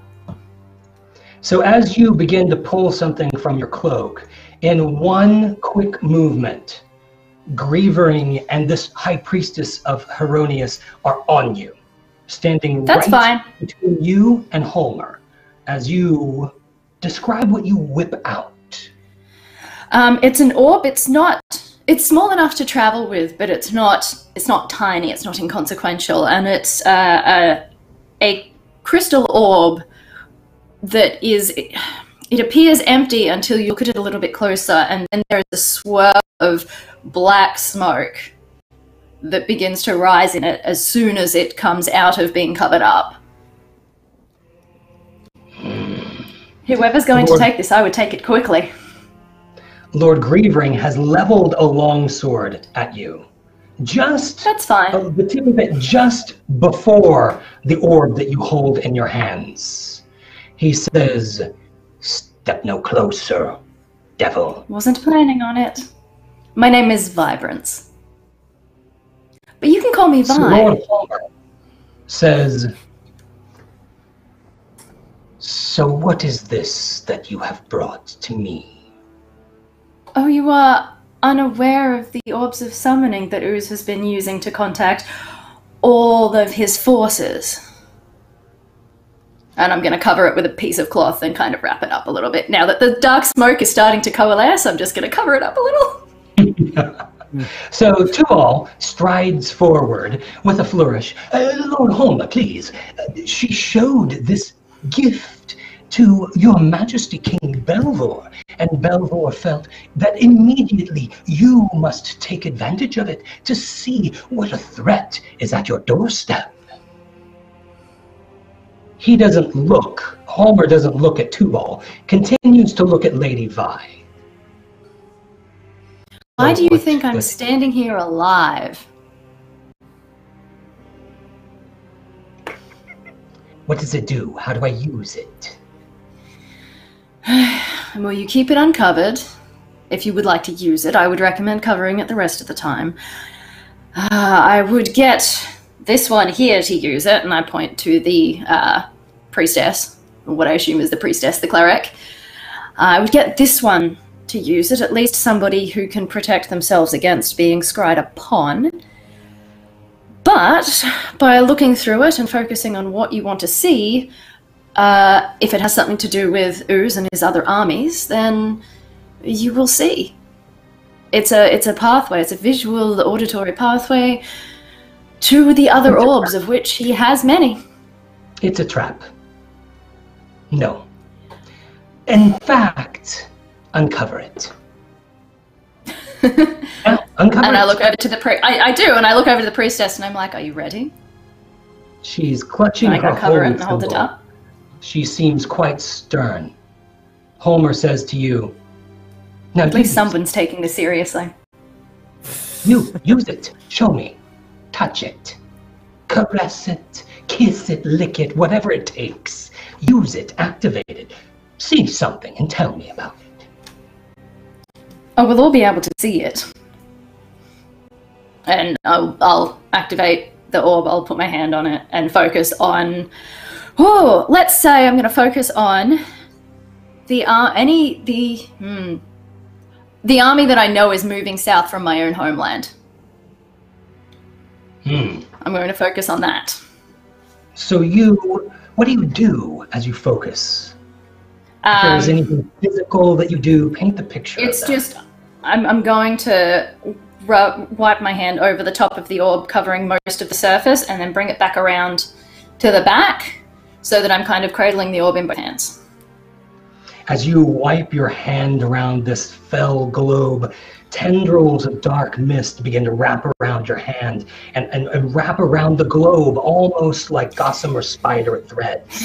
You hold it in both hands, and these mists are enveloping your hands, swirling around it. The knight and the priestess keep a state of readiness, but move back from you. Shiroi, Oh no, priestess, I need you here. she her expression does not change. Hmm. Shiroi, is there anything that you do seeing this happen? I sort of just back away a couple of steps since I'm I'm still new to this lady Vi and her way, so I'm just sort of uh, I'd say moving closer. And Sable, especially since Shiroi has taken a step away, you have a clean view of this. This orb is less than, is probably five feet away from you. Is there anything that you do? Um, I just sort of scratch the back of my he- head, and as I do, um, my knuckles will just wrap gently um, one red gauntlet, uh, the only color really on his uh, the otherwise black plate mail, um, and just taps slightly against uh, a hilt which materializes across his back as I will summon my great sword just ready to. Oh, it's another tabaxi. Um, I'll just, uh, I'll get ready to, um, yeah, I'll, I'll get ready to kill Lady Vi. I Okay. sort, I mean, this Oh, is the first time we've seen her. And this, Oh, okay, you, uh, would you've I- certainly killed plenty of tieflings. Yeah, oh, Hmm. absolutely. would I have seen What were you uh, saying, Kevin? Sable Cross? Oh, would, You're would I speaking, would but I I have can't seen hear. Sable? Cro- Up. Uh, No, wait, would I have you, seen you have Sable never Cross? seen him before. Okay, but do I see him like getting ready to sheath? Because if so, I'd like to step in between him and Vi and pulling up, showing my blade, just saying like, "You want to go?" just like yeah, just protecting her. Sa- Relax, Yeah, you Sable, should be here. boys. Thought your mind. Sa- Alright. Sable's face just lights up as the cat steps in front and just. This is gonna be fun. And I just grip, I grip the hilt, but I will wait to see what happens. And, That'd and my- the two of you are aware peripherally that everyone is that in that posture. Your Mm. your friend Sir That's Rakor has his blade completely drawn. The four guards with their pole arms all have them leveled at you. Everyone is in a state of readiness. And Lady Vi, you try to focus your thoughts on the army marching south. Mhm. What is the face of the army what marching south? Where would they be? Um, you're not quite how sure. yeah? How long since? How long since my my been- because I know that that army is not going to stay put in in the Hornlands. I know that that was that was a tactic five and a half to months. yeah. So where they'd nearly they? be Where there. you focus? You They would be about, near the okay, bridge. They would be near where we fought them. Um, that's not an area that's familiar to you. You're trying to figure out how. So you, you trace your mind I would know back the command. Mm. Yeah. and you try to think of how they would have come south from Molag. And for one second, your heart betrays you. Just a second. As you think about Molag, you think about a big, obsidian colored, pot bellied devil who you knew Yeah. as Dad. and at that moment, boom, the orb activates. You have just a moment to see everyone stagger back, and then you're gone. Great. Around Awesome. you is something that can only be described as a hellscape.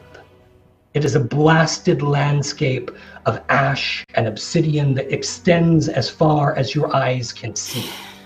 Flame Oops. hurtles from the sky like fiery rain, except exploding in massive balls of flame, conflagrations blowing apart, shattering obsidian cliffs. And you become aware that you're on a high parapet on a black tower. And your father is about 15 feet away. He's kneeling with his back to you. And a black door opens before him. Comes out. You see movement around the corners of both of your eyes. You realize that there are devils everywhere. They all bow as one.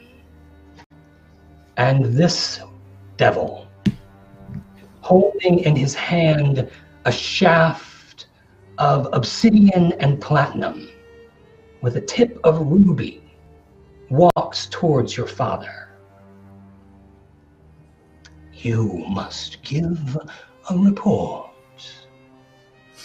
and I must decide whether you advance or whether you suffer. Hmm. Classic hell tactics.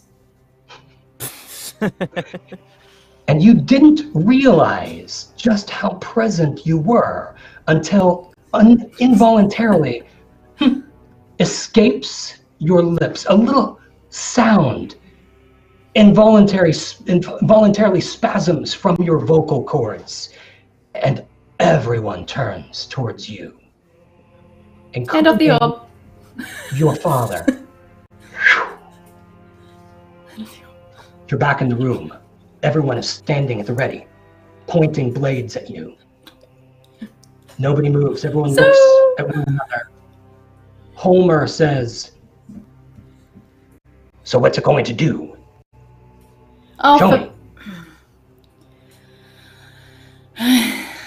I'm gonna try again. It touched it. I didn't see anything. What does it do? Right, I sort of turn to Lady Vi and I go like, maybe I can be of assistance and maybe the location. Oh, location. yes, where let your pet rub it, please. Probably not. Okay. I, don't would trust you. prefer if you do not call me a pet, King. Fine, give it to the cat. Touch the orb. All right. As soon as things start getting like aggressive, touch the orb. I, I touch the orb with my paws. Ah. Suddenly, a shroud of peace encompasses you. You are in the central courtyard of the Abbey of Amamorial, which the humans know as Flame Flower. The massive tree in the center, leaves are falling. In this moment of stress, something within you immediately went to this place. Hmm. But the leaves that are falling are on fire. And you hear something cry out. something is hitting the ground. Behind the tree, you see a flash of white. overwhelmed by shadows. You can't tell what's going on. But something is crying out in pain. Something not human, not elven, crying out in a clearly sentient voice, but not a language that you speak. Hmm. Hmm. Yeah, I'm still holding on to the orb and just good see if I can hear it more. Like, can I walk towards where it might be coming from? You have the urge to walk forward. You have just long enough to wonder, can I walk in this? And then suddenly you're moving forward. Whether you're walking or not, somehow your center of consciousness surges forward past the tree, and you see the unicorn on the ground. Its guts have been spilled. It still lives, lying on its side, its feet kicking ineffectually, almost listlessly, reflexively. Around it, over it, scamper many small demons. And then they all turn and look as one. You look too, instinctively, reflexively. And a beautiful woman in black drifts towards the unicorn. Long, straight black hair. She wears a dark dress that accentuates every curve. And in every way, she is the image of perfection, of perfect beauty. Malice is in her eyes. She comes and lifts a bare foot that almost seems delicate, smashes it down. The unicorn's horn snaps and breaks. The unicorn gives one last spasm and is still. The beautiful woman leans down, picks up the horn, and begins looking around. She turns towards you, squints, I can see you, by the way. Wow. Who do we have here? Touch the orb. I'm like just scrawling. I'm like reaching for my sword. I'm just gonna rush her. I haven't drawn out yet. I'm just like making a rush towards You this woman. You reach towards a shoe you have the you know the physical impulse of reaching towards your sword. You don't have an arm. You don't have a sword. What? But you still that that desire to rush and suddenly you are rushing towards you. She smiling. You smack against her hand. You stagger back in Holmer's throne room. Your other hand is off the orb. You're looking about I'm sorry, I should have clarified. You think?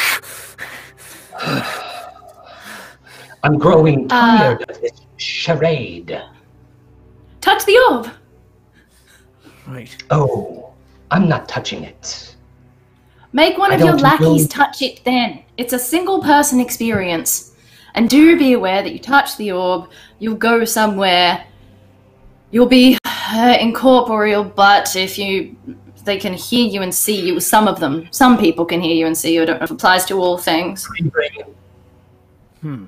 Hell, you Can can it- have that paladin there touch it. And I point He over turns- to Yeah. the table cross. Would you Make a lackey Right. do it. This Grievering's hand tightens on his sword and says, My lord, I will do it if you command. However, if it has the taint of evil, I might. I might lose my connection to Heironeous. Yeah, I look, it probably does. I'm, I'm going to be honest with you here. It probably does. It seems it seems likely. Lord Holmer takes two steps forward, looks around the room. Would someone in my employ please come and touch this damn orb? Oh, Come touch my ball. sake. Sable takes a step forward, turns. If it pleases your lord, I'll take your test. See what And this devil woman wants. My name is Vibrance. You can call me Vi. I'll call you whatever I damn well want. I turn around and look at everyone else. Anyone in here have any reason to question my honor or my integrity? Sir I sort of Rakor scoff at him. raises a hand, takes a small step forward, and says, Lord Holmer, he does a little bow. In the same way that I have served you as leader of the Red Hand, he, his name is, is Sable Cross, he has served me and has risen through the ranks to be my right hand. I trust his judgment. Scraticus! Yeah. yeah. Scraticus. We love Scraticus. Hello. Yes. Hello. hey, buddy. Fantastic, fantastic. Thank you, thank you, Scraticus. Scrat, I'm here to grab some some bowl in my hand. Some lady bowl in my get a hand. big old Some of devil. Grab my ball. Yep.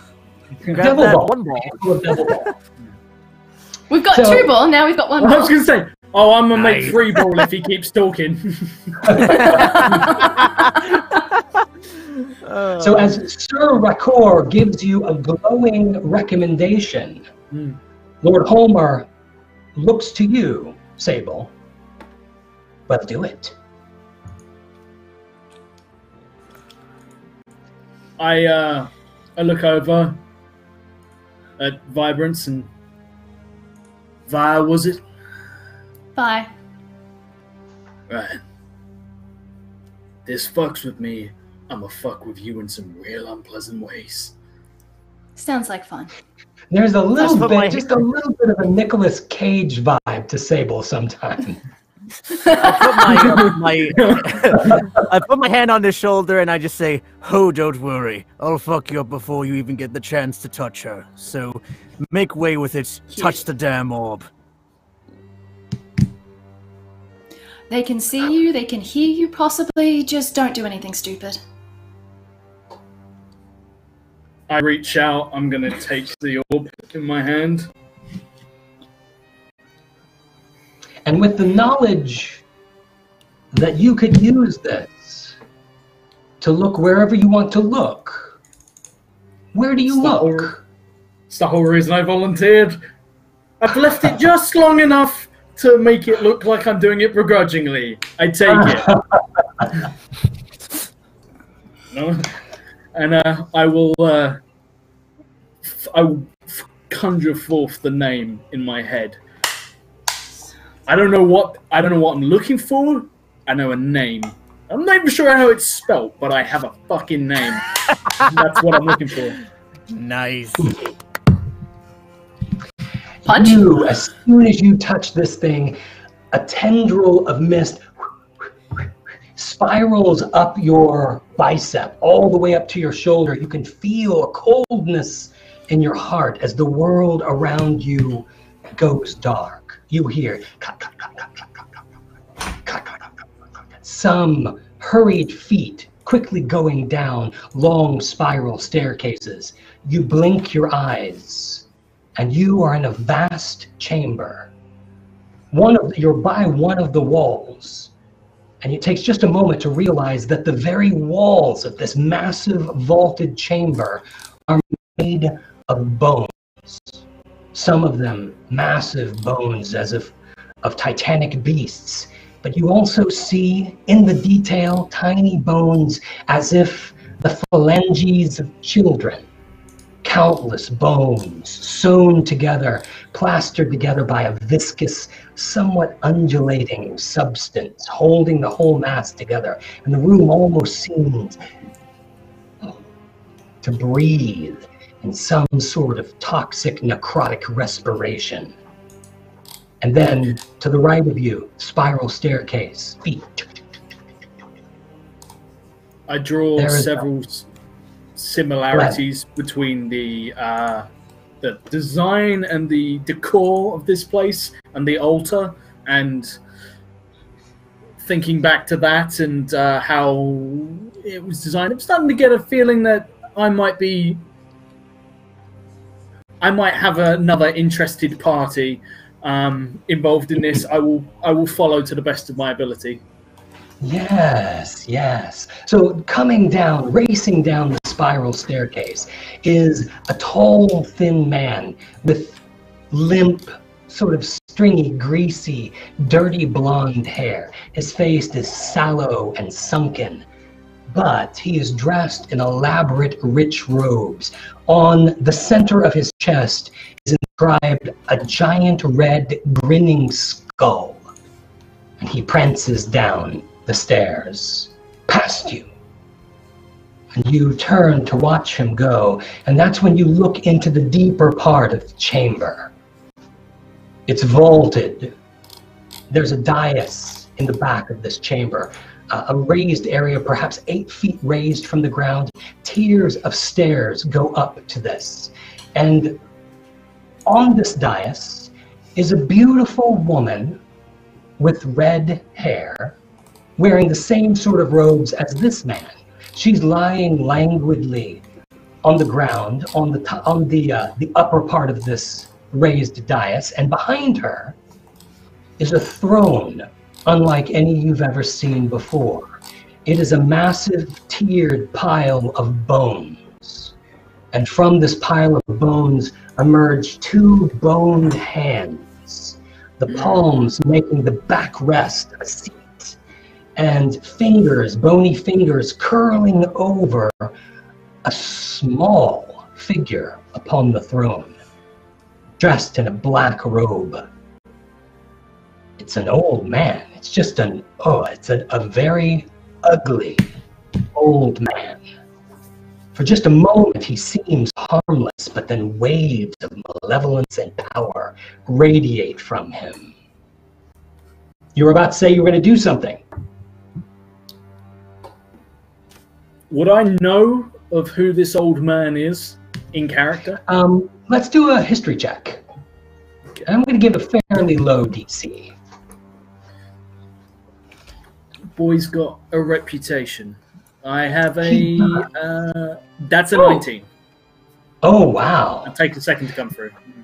A little bit of a retcon here. The moment you see the red skull emblazoned on the thin man's chest, that's the signal, the insignia of Iuz, the old. And then you begin to look around and think, the Bone Palace.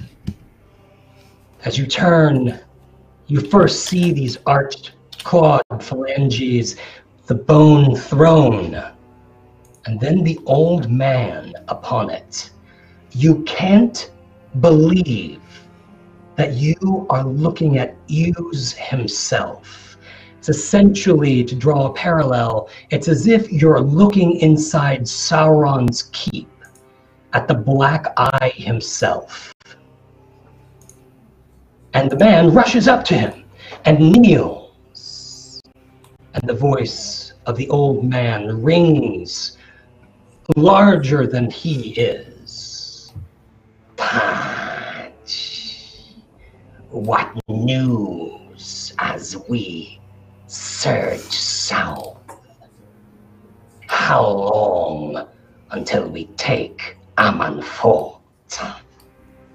Potch bows low, looks at the woman, who gives him a very condescending smile, and he says, Lord of pain, I am prepared to leap upon the dragon and lead our forces myself. The woman goes, No, you stay here. I'm going. I'll lead the battle. Ah, your lordship, I I wish I could support Althea's claim, but surely I should be the one to take the shield lands. Quiet. She look he looks at the woman. Althea. I have another path for you. Potch. Maintain surprise. But yes, the time for the assault has come.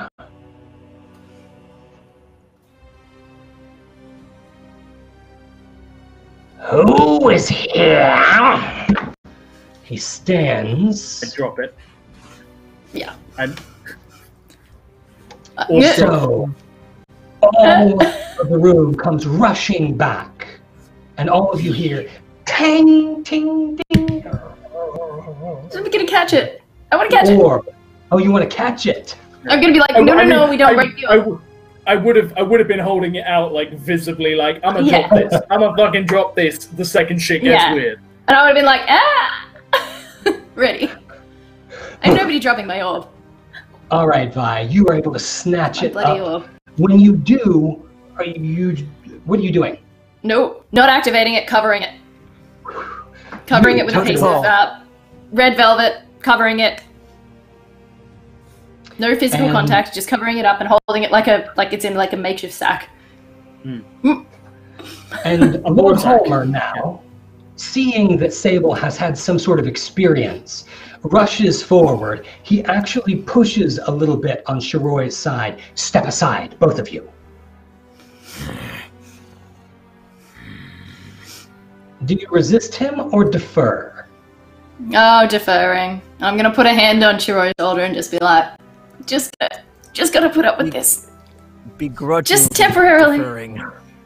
Just gotta put up with this for a little while. The two of you, a slight move forward, uh, to the side. He Yeah. rushes up to Sable. Lord Grievering and High Priestess Tinette move forward to kind of be ready in case Shiroi or Lady Vi should do something to Lord Holmer. But he comes up to Sable. Sable, while you're still kind of rattled, eyes rolling around the room, he clutches at the fabric of your cape and shakes you a little bit. Well, what did you see? I saw inside the Bone Palace itself. Wait! Silence! Tinette, we must know if this is true. Oh, I can handle that. closes- I can. She closes her eyes. So do you say that out loud? Yeah, I say that. I can Oh. handle that. Oh, okay. So Tinette looks at you and says, We do not trust you. Is that not evident? Oh, it's pretty oh. evident, but I just, just putting it out there, offering assist. Oh yes. And I is would it- suggest trust her, because mumbles a little bit, and all of you hear. "Pew." There's a shimmering radiance emanating from Tinette. It goes as far as Sable, encompassing most of you. Hmm. Now Oh, we'll know About a 15 foot cube. about a Yes, 15 foot cube. Yeah. Yeah. Yeah. Huh. And Lord Holmer says, Speak the truth. It'd be a waste of your time and your short life to lie. Hmm. I'm gonna try and resist it. All right, huh? Okay. Let me, let me actually pull this. Because they don't up. they they don't they don't actually It's charisma. know if I've yeah, I know it's charisma, but I don't know. Yeah, that's what I want to look at real quick is, is do they know if you resist it? Hmm. Charisma Ah. saving throw.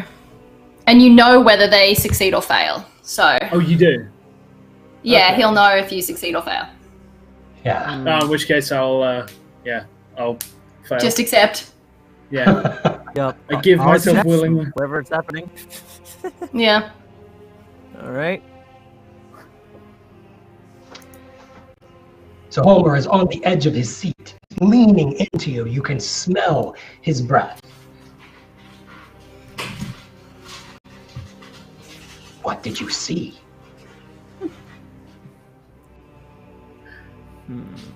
I believe what I saw was the inside of the Palace of Bones. I saw a man by the name of Patch. and a woman uh, by the name of Althea. She's a fiery redhead.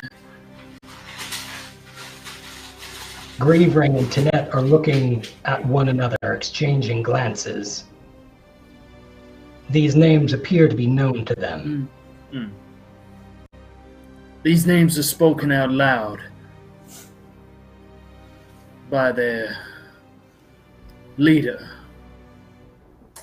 Sat on a bone throne. Iuz himself. Hmm. Tinette, he's telling the truth. Hmm. I think I'm telling the truth. I've seen illusions before, mighty powerful illusions, but I tell you now, I still the taint of that man upon my skin as if I was there. And what's more, in the closing moments, I heard them mention a few things. I didn't get the name of the it's Alf uh the name of the place that they said which is where we are. Where you are, yes. Yeah.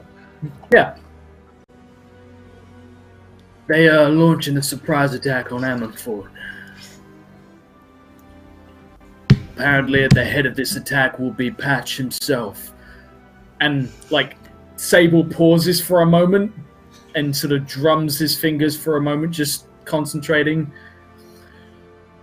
Patch will lead the assault force uh, on the back of a dragon.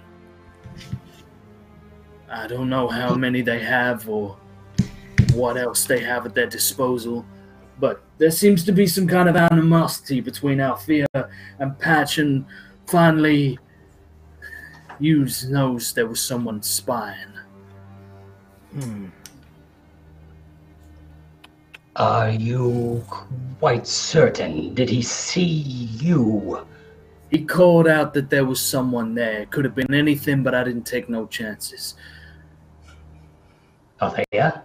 He still speaks the truth.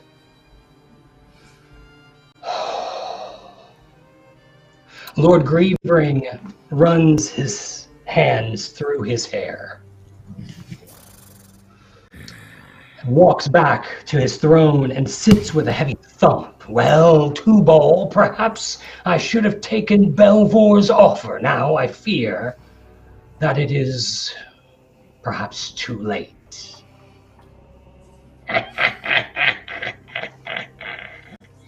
yes, too late. there in the center of the room, on top of the table, there is some sort of swirling black vortex beginning to spool and twist. And then it falls all over the table. The table immediately turns black, rots with necrotic energy, and collapses. And rising from the filth and decay in a spooling pile of worms is a single dark figure standing in the center of where the table once was. He's about five feet tall. His back is hunched almost like a bow pulled to the point of breaking. He leans upon a twisted black root, and his features are ancient. So, someone paid me a visit. Who? Who came It's dangerous. to know me? I wish to share more of my glory. Please, don't be shy. Can I use divine sense to tell if that is really any kind of, in any way, him, or if that is a vessel, or if this is an illusion? Because yeah, if he how is corporeal are we talking here? Yeah, how Good could call. It good appears to be in the withered ancient flesh. He doesn't appear to be translucent. He's not twisting or morphing in any way. Does There's he a light up? powerful, malignant presence. Hmm. Divine Okay. sense let's. Uh, what does that give you? Divine sense tells me. Uh, blah, blah, blah. I'll tell you what, what it does. Divine sense. Uh, let me tick one off. Uh, as an action, Hmm. you can detect good and evil. Until the end of your next turn, you can sense anything unaffected by the Hallow spell.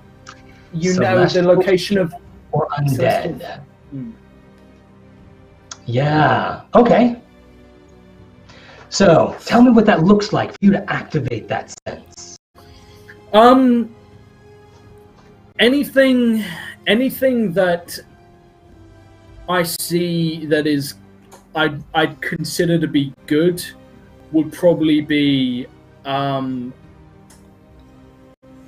Anything I see that would be good, I imagine, probably has almost sort of like a chorus of quiet, hard to make out female vocals singing behind with a slight golden aura um, Uh-huh. Uh, and seems to almost glow, uh, which is something very that speaks to him of good. It, it conjures up one of his his happiest memories, um, and the other one, if it's evil, it would, or if it's dark, I imagine it used to be something different, and now it's almost sensing uh, his new companion, uh, of whom he does not speak, um, almost maybe like a kinship or an understanding, a recognition, a appreciation for power, something, um, and that sense that uh, whatever this is is something not to be trifled with and potentially to be bartered with. That's not me saying that. That's not me saying that. so as you as you cast out this awareness that is that's just power, part of your your holy power, Lord Grievering and Tinette, the High Priestess, explode into a vivid radiance. It is hmm. clear that if there is anything good in this world, they are closely aligned with it. Lord Holmer, sitting back now in fear on his seat, doesn't radiate much in the way of palpable, discernible good. Tinette, I mean, um, Tubal, out of all of the persons in the room, has the darkest aura. Not of undead or fiendishness, but just of a sour, wicked heart. I thought you were going to say he was like more evil than Iuz. I was like, I'm. Oh. Fuck. Be right back. I'm gonna kill him. Holy shit! Amazing. Be right back, fuck this guy. advising- All right, let me just take care of this people here. Lady Vi has somewhat of a Nothing. shifting, buzzy aura. Yeah. You can tell that she is has some sort of a fiend lineage. You can sense that and see it. Yeah, And but I mean, like the your horns. eyes- Yeah, like if that wasn't a dead giveaway, You knew. I had you at the horn. But as you turn your visage towards this small black cancer in the midst of the, the rotted table, your senses are absolutely overwave, overwhelmed by a crushing black wave of evil. To the point that your sense is agonizing to continue to perceive, and you have to let it drop. You don't know whether he's real or not necessarily, but there is evil coming from him. And Hmm. he asked the question Who came to you? To him. Hmm. I go to say something snappy, and instead I tell him the truth because I'm under zone of truth at the moment. so something really smart and sassy, and uh, and He's you like, guys "Ah." can just fill in the blanks. Uh, but he goes to say something, and his mouth almost sort of wrestled into the sh- unfamiliar shapes. Um, chews out the word uh, almost a little sideways. Christ. I did. And Christ. Zabel almost looks a little surprised. He is suddenly beside you. He is now looming over you. This once five foot tall man. now is reaching crone like fingers towards your throat. Then let me embrace you in the full knowledge of who I am. Reaches God. his fingers around your throat. Ah. Hmm. Takes his hands off. I see. Fascinating. I'm sure our story will continue. But you, Go ahead. You would like I, what? I'd like I'd like to stab him. Okay. Yeah. yeah, and I I, am mean- my, and I'm like having my sword sword put out at him, like I'm just ready to go. Like I, I, I kind of feel bad about cutting him off. At the same time, at the same time, it's Iuz. He's in our fucking home. Yeah, right? I feel like this is in my wheelhouse. This is kind of a thing. I feel like, especially considering he kind of just gave me a freebie. If I don't try and stab him right now, I'm gonna have to answer so many fucking questions. Oh, that's a very good point. That's a very good point. So tell me, what do you do? Yeah. Uh, I will bonus action vow of enmity. Don't I won't do all the other crazy shit because right now that would really not go. If I turn all necrotic and shit, I'll probably be lynched. This is probably by my bad. Yeah. Uh, so I give myself advantage against him, and I will swing, and I will go full out loony bin for him. Uh, Drum roll. What is a demigod's AC? Well, Uh, is it a nat 20? Is it nat 20? nice, nice, fucking up and that's that your demi- second blow, right? So you're no, no, that's I, 'cause- no, it's at advantage because of vow of enmity. Oh, oh, okay. Um, well, would have been better. So, as you bring your blade down on this old man, you feel a certainty of power. You feel all of your dark energy swelling, and ugh, he's gone. He has used his reaction for shadow step, and your Ah. blade hisses through the empty air and tangs on the ground where he stood. When you, your blade hits it, the, the floor crumbles a little bit, as if the force of your blow and the toxic poison energy of his evil has made the, the floor brittle. He has shadow stepped directly next to Lord Holmer. Grievering and Tinette spin around, and he has long enough to say, well, our plans have accelerated. Farewell. Kill them all. and then he and Lord Grievering are suddenly gone. In the back of the oh. room, there's a morphing, a shifting, almost as if something is beginning to tear. Hmm. And in the darkness, all three of you hear huge shrieks of power. Ting tang ting tang. Blades, dozens of blades smashing against one another, and some sort of a dog-like howl. Three creatures, massive demons, step from the void in the back of the room. Oh boy. But that was two weeks ago. Sable has been denied a strike against the Lord of Pain himself. But now, standing alongside an undead dragon with Potch, the name that has tormented him for six months, only feet away, within his range. It is his turn to act.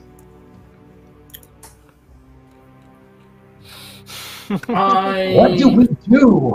Oh boy. Uh, I really should be helping helping friends, but uh, I'm not You're not really gonna, are you? Here. I'm not really here for you guys. I'm here for the, I'm here for him. Oh, I, that's I fine. don't, I don't know you guys. I don't know you guys. Um, I go for the um for the dragon. I will go Oh, for the a. dragon. Remember, Mm. two, uh, th- well, two, uh, three people are down. Yeah. Two of which are PCs, and Yeah. one NPC. Yep. But if I One- get, And one PC Right. might have, you know, mass healing word or something. Yeah, that'd be that'd be important. here's the thing, I can't get to you. Yeah. I, I, I can't actually cover the distance to you. You're out of my distance. Yeah. I'd have Oh, to. yeah. If I disengage, I've got lay on hands prepared, and I have cure wounds, and I have uh, an Aasimar healing ability. But all of them take an action. I could get the monk Yeah. up, but I can't get him up much, and the dragon will probably take him out next round. Or I can try and ter- I can try and drive this dragon back for long enough to get the monk up. The monk has healing potions. The monk can get to you, and then you can, you you two Yeah. can Hey, And then sail off get into the distance. everybody up. Yeah, and then you can what? You can sail off into the distance as I go. Well, I drew aggro. Let's do it, Help. please. Help me! So Aasimar Paladin chooses to tank. I am going Take- to get twenty again. Yes! Oh, Nice. Amazing. Fuck him up. Holy Ah. cow. Good grief. That's intense. so, oh, I- what do you have left that you can spill? This is this is everything. This this will be this will be the full Monty. But once I've done it, guys, I am in. I, I, I have like I can still hit like a paladin. I can still get loads of attacks in and do cool stuff like that. But this is it. my this is my This is my This- Kamehameha one-off fucking do or die. The Y'all final better- blow. Well, quite literally do or die. Essentially, the same blow you gave the Balor, I'm assuming. Uh, But better. it might be significantly more this time. Oh, yes, it's a nat. It's crit. The crit. Oh my god. Oh, I need to see these rolls. man. I am I- terrified. I look God. up at the I look up at um the rider because I can't really get to him. Like he's on the back of a huge dragon.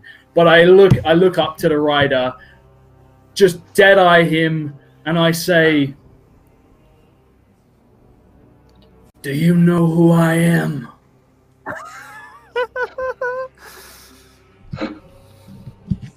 Does he Oh, respond you- at all? him. I'm gonna give him a second to respond. Yes. No one. Oh boy. Yay. I pull back my s- I pull back my sword and just channel every single bit of hatred I have left from Tasha, from my divine wrath, from everything I've got, and I close my eyes for a split second with these necrotic tears pouring down my face, and I whisper, "I'm coming, Rose." And I'm gonna swing, and that'll be Oh, he fills the whole tray with dice. a hundred Oh, fucking damage. Nice. Get eat a whole bag of.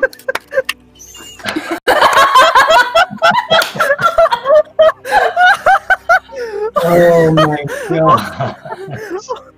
Oh my god. Woo. Oh. Nice. I don't think I've ever seen. I have never seen somebody roll 150 damage. Um, a question in chat: Christ. These are level 10 characters, but Sable in particularly, in particular, is ruthlessly min-maxed for this one attack. This is, this is. off on a nat 20.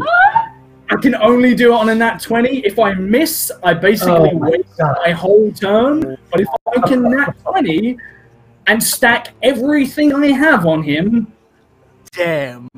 Oh my gosh, minus 150. All right. Um, That Yes. kinda- If he please if tell he me moves, killed. if he, if he moves, he takes another eight d8 thunder damage. Um, but Sable is, Sable is trembling. So you plunge your sword. Well, how do you hit? Do you tell me? You got the crit. How do you hit? Um, I'm gonna, I'm gonna. The the Dracolich is currently afraid of me. Um, is it got like reins? Yeah, he does. It doesn't go through his mouth, obviously, because he's got a breath weapon. But there's Yeah. like reins that that uh, go around his snout, almost like a dog's snout, and it goes. Yeah. There's a whole rig that keeps Potch on his back. I I grab I grab the rein with one hand, sword balanced, and I'm just gonna one-handed and put all my weight behind it whilst grabbing hold with the other hand of the rein, so I get a good clean swipe at the neck. Um, and uh, I look up and just as I bring it overhead, I say, "You're gonna remember my name," and I bring it down to the back of his neck. right on the back of his neck. All right, I've got a lens. So your blade cleaves deeply. It goes down about four inches in the back of his neck, hits the spine, can't quite cleave the spine, but the force of the blow is so great that it levels the blade and it slices the neck in half from the spine down. So a huge gaping wound. Black ichor goes you are suddenly slimed with viscous black. It smells like rot. Perhaps this is like rotten dragon blood. Whatever it is, courses all over your body. the dragon buckles and waves. Potch rises and falls. And I'm going to say, just for story's sake, with the nat 20 and that kind of hit, half of his rig is torn loose. The dragon rears, its head sliding to one side. Potch, his whole rig slowly tips and the boom, boom, boom topples off the back. He's harnessed in to stay on this dragon, and the harness and the seat have all fallen back, and he lands on his back with all of these cords and cables and straps all over him. The dragon is still alive, but clearly grievously wounded, flopping its wings, unable to take flight, its head not able to even be pulled into alignment. And Potch, as he slips backwards, it's a very satisfying ah! And he lands on his ass. Wow. There we go. Lady Vi, on the other hand, let's have a death I need to save. make a saving throw. Yes. Yes, Please. yes. Roll good, roll good, roll good. Roll. Uh, I haven't done one of these in ages. What's is there any modifier on it? Nope, it's Nope. straight d20. No, Just a straight d20. Yeah. Just 50 50. Ten. There you go. Ten. All right. And so that Lady Vi, the dragon. Hmm. I'm not going to roll, just based on the story I just told, I'm not going to roll to see if his breath weapon recharges. I think when you run a nat 20 and get that kind of hit, that that's just not going to happen. So what will the dragon do? He, I'm going to say, looks at, obviously, he, he tries to get his head around to look at, at, um, at Sable, I'm going to say because of the wound, he can't turn it quite that far. So he scratches that direction uh, with a claw. Does he hit? What do I need? Keep rolling that incorrectly. All right, rolling here in Fantasy Grounds. We go. oh, obviously blind. You're able to dodge that claw. You hear a whistling in the air. You look over your shoulder, Sable, and the tail is whipping towards you now. Whoop. Um, and assuming 13, 14, 16 is not going to hit you. Nope. Nope. So, obviously, you're on the wounded side of this dragon. It's just blindly flopping its attacks in your direction. But it does take a moment to dive downwards with its head snapping at Shiroi's lifeless body. 16 Was oh, I get advantage because you are down. And that would be yeah, a 16. Does a 16 hit you? Shiroi. Uh, no, it does not. I mean, I, yeah, even without the two plus from uh, the Lord I got earlier, no, does not hit. Even with advantage, he didn't get you. So I'm just going to say he's so thrown. The black blood continues to course from his massive neck. He fails to get Potch. Poor, poor Potch. So now, Shiroi, Right. you would fail the death save automatically if he'd hit you, but you have to make one now regardless. All right. Let's Drum roll roll. All right, that is a 13. That is a success, I believe. That is a success. All right. All right. That's all I can do. So Potch now, lying in all of this stuff, I'm going to say that it's going to take half his movement to stand up, and I'm going to call him um, restrained at this point because he's all tied up in all of this mess. He is going to. What will he do? What will he do? So many buttons that I could push. He looks so. I might just make an enemy of Josh for life. It's all part of the story, my friend. He looks at you now clearly in a panic. The bravado of no one is gone. He now understands that he is in a fight for his life. And he casts, and you feel the world around you begin to shiver, shimmer, grow transparent. You use all of your will to resist. What save is that for banishment? Oh, Charisma. Oh, yeah. Please tell me it's good, because we need Charisma. feels like All right, let me look at his spell save. His spell save is 19. Charisma, is that it? Ninety percent sure it's sure. charisma. Uh, I can check that. I'm coming, I'm Uh, pulling it up. It is a charisma, yes. Yeah. DC 19 Charisma. charisma. Let's see if you can get another 20. come on. That is a sixteen. Plus Oh. nine. Oh, oh yes! nice. Plus um, nine. Yeah, I'm a Oh. paladin. I get I proficiency to charisma saves. It's my thing. How Charisma.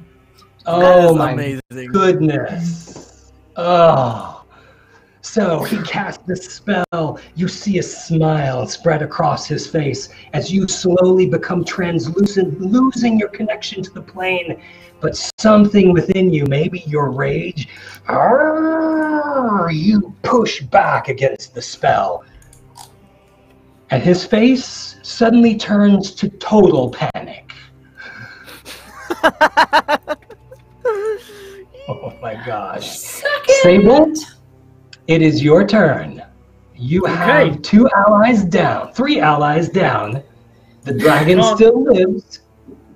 Don't know. Don't know uh, about my uh, my boy here, um, who went down writhing, covered in whatever that was that was eating him alive.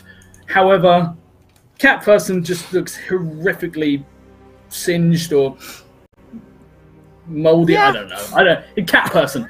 Um, Yeah. I will use my It looks like something the cat dragged in. Indeed. Indeed, he does. I will use my once per long rest um, healing hands, All uh, which gives him 10 hit points instantly. Mhm. I'll put that in there. Healing hands. Is that a It's my- bonus I- action? I, I- no, it's an action. It's my Aasimar ability. It's Oh, a racial gotcha. ability. One, once per day, you can give your level in um, hit points uh, in healing. All right. Um, so I will reach down, grab uh, the cat person, and uh, sort of like start dragging them to their feet. But I don't. I pay them him next to no attention. And then Oh. I'd like to walk over to my boy, my buddy, my pal. And I'll get all up and cowers against you, still tugging at the straps that have him restrained. Ooh, he's a strange. Um, now, I unfortunately. Do, do, do, do. Only thing I can do is. Da, da. Wait, hold on. Okay, so while he's looking at this, Shiroi, I don't know what you're dreaming of. Kittens? All right.